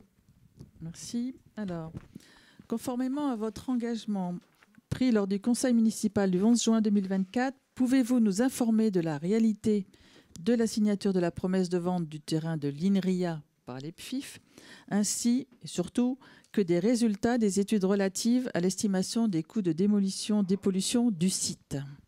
Alors, je vous confirme que la promesse de vente a bien été signée par les FIF en notre nom le 13 juin chez les notaires concernés. Et je vous confirme qu'à l'heure où on se parle, le FIF n'est pas revenu vers nous avec le détail précis des coûts de dépollution, qui était annoncé pour fin juin, donc début juillet. Donc on les, on les interroge tous les jours, mais c'est l'EPFIF qui, qui a la main. Donc bien évidemment, dès qu'on les aura, on les exploitera. Et c'est évidemment un des, un des, éléments importants, pour ne pas dire très important, de la suite de, cette séquence. Et donc voilà, donc Monsieur Coppens appelle quotidiennement ses homologues de l'EPFIF pour savoir où en est la dépole. Voilà. Donc on viendra vers vous et dès, que dès qu'on sera en situation d'avoir un, devis précis et, maîtrisé. Avant de vous rendre votre liberté, j'ai quelques petits points d'agenda euh, avec des sujets variés. Euh, depuis ce matin, le forage de la géothermie a effectivement commencé. Vous avez vu l'objet. Je reprécise euh, voilà, que ce n'est pas la structure définitive. On voit des choses sur les réseaux sociaux. Ça s'appelle un DERIC à peu près le même Derrick qu'à Vélizy-Villacoublay. Alors je rappelle qu'à Vélizy-Villacoublay, pour l'anecdote, comme le Derrick était quasiment le long de la piste, le sujet c'était la sécurité aérienne. Et ça a été un vrai sujet de difficulté pour. Euh, voilà, parce qu'à un moment, il faut, il faut sortir le Derrick de terre et les avions, il faut les poser. Donc on n'a pas ce sujet-là. Donc on part pour euh, six mois. Donc euh, je n'ai pas été écouté pour l'instant. Donc on, sera, on sera néanmoins attentif. Je redis, à moi c'est la vérité des prix. En tout cas, c'est pas une rumeur, le forage a commencé aujourd'hui, donc euh, j'espère que personne n'entendra rien et j'en serai ravi. Et puis si on entend du bruit, on, ira redire à NJ euh, ce qu'il y a à redire. Mais donc ça a commencé aujourd'hui pour euh, six mois quasiment de, chantier. deuxième rendez-vous demain soir pour la fête du personnel à partir de ouverture des portes 18h30. Ok, accueil du public, c'est ça? Voilà. Donc je précise qu'il y aura des écrans de télé pour les drogués voilà. Je précise aussi que nous avons un certain nombre d'agents qui ont des liens forts avec euh, la Lusitanie. Donc soyez euh, malins et habiles. Soit vous mettez euh, du vert et du rouge et puis du blanc, voilà. Mais ne prenez pas trop parti, ils sont nombreux. Et peuvent être dangereux. Surtout que le match commence à 21h, donc je ne suis pas sûr de l'état dans lequel on les récupérera à la fin. Voilà, donc, donc vous êtes évidemment tous et toutes les. C'est ça, peut-être pas faire les malins non plus, parce que c'est peut-être eux qui vont nous consoler. Et je rappelle qu'il y a surtout beaucoup de binationaux, donc euh, qui vont forcément avoir une partie de. Voilà, donc vous êtes les bienvenus ce soir. Demain soir, c'est donc à Chèvreloup et, euh, et euh, on, accueille avec plaisir tous nos, collègues. le temps pour vous de vous reposer, donc vous êtes attendus pour celles et ceux qui sont disponibles. Et je remercie tous les élus donc pour la troisième séquence des élections. Je voilà, remercie également tous les collègues agents. Donc je renouvelle particulièrement euh, mes remerciements aux, collègues de l'état civil. Euh, et il y a une pensée pour euh, ceux qui terminent le match à chaque fois, c'est-à-dire la patrouille de police municipale qui part tard dans la nuit avec le PV déposé à la préfecture, le fruit de notre journée d'investissement. ça, c'était pour dimanche. Pour ceux qui sont encore chez les Courtois, le 13 juillet, nous, nous prions le ciel qu'il ne pleuve pas, bah, aucun regret pour l'annulation du Nid Blanc V1 parce que euh, voilà, il faisait froid et moche.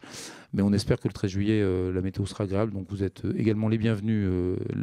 on l'a venu tard, je crois qu'il y a 7 à 800 inscrits dès à présent. Donc normalement, il y a encore un peu de monde à cette période. le 3 août, pour ceux qui vraiment veulent pas partir en congé, le 3 août est un samedi de grand départ normalement. Je le reprécise parce que certains pourraient vouloir tenter de partir. Donc on a la course cycliste sur route des Jeux Olympiques hommes. C'est ce qui fait que nous sommes ville haute pendant deux minutes, mais globalement pendant 7 à 8 heures, la rue de Versailles sera un peu impraticable pour les véhicules lourds et même difficile à traverser pour les piétons pendant la demi-heure qui précède. Ça ressemble euh, au Tour de France, mais il y aura euh, beaucoup de forces de l'ordre dans la ville parce que c'est très très sécurisé, donc ils vont pas être très drôles. Donc c'est pas la peine d'aller chercher votre pain, etc. Il n'y aura pas de marché ce jour-là, je vous précise. Voilà. Et euh, voilà. Donc, si vous avez décidé de partir en vacances, visez le vendredi ou le dimanche, c'est quand même mieux. Et n'allez pas voir vos voisins du mauvais côté de la rue parce que ce sera compliqué à la traverser. Pour le reste, normalement, nous ne sommes que très peu impactés par les JO dans la partie euh, gênante. Donc après, vous pouvez vraiment partir en congé. Et euh, je vous donne rendez-vous donc le 3 octobre pour la prochaine séance régulière du Conseil municipal, sans préjuger d'aventure d'une séance exceptionnelle. Nous ne sommes jamais à l'abri de rien dans ce pays. Merci à toutes et à tous. Et, puis, pour ceux que je ne revois pas demain, rendez-vous dimanche à la fraîche euh, dans vos bureaux de vote respectifs. Merci beaucoup.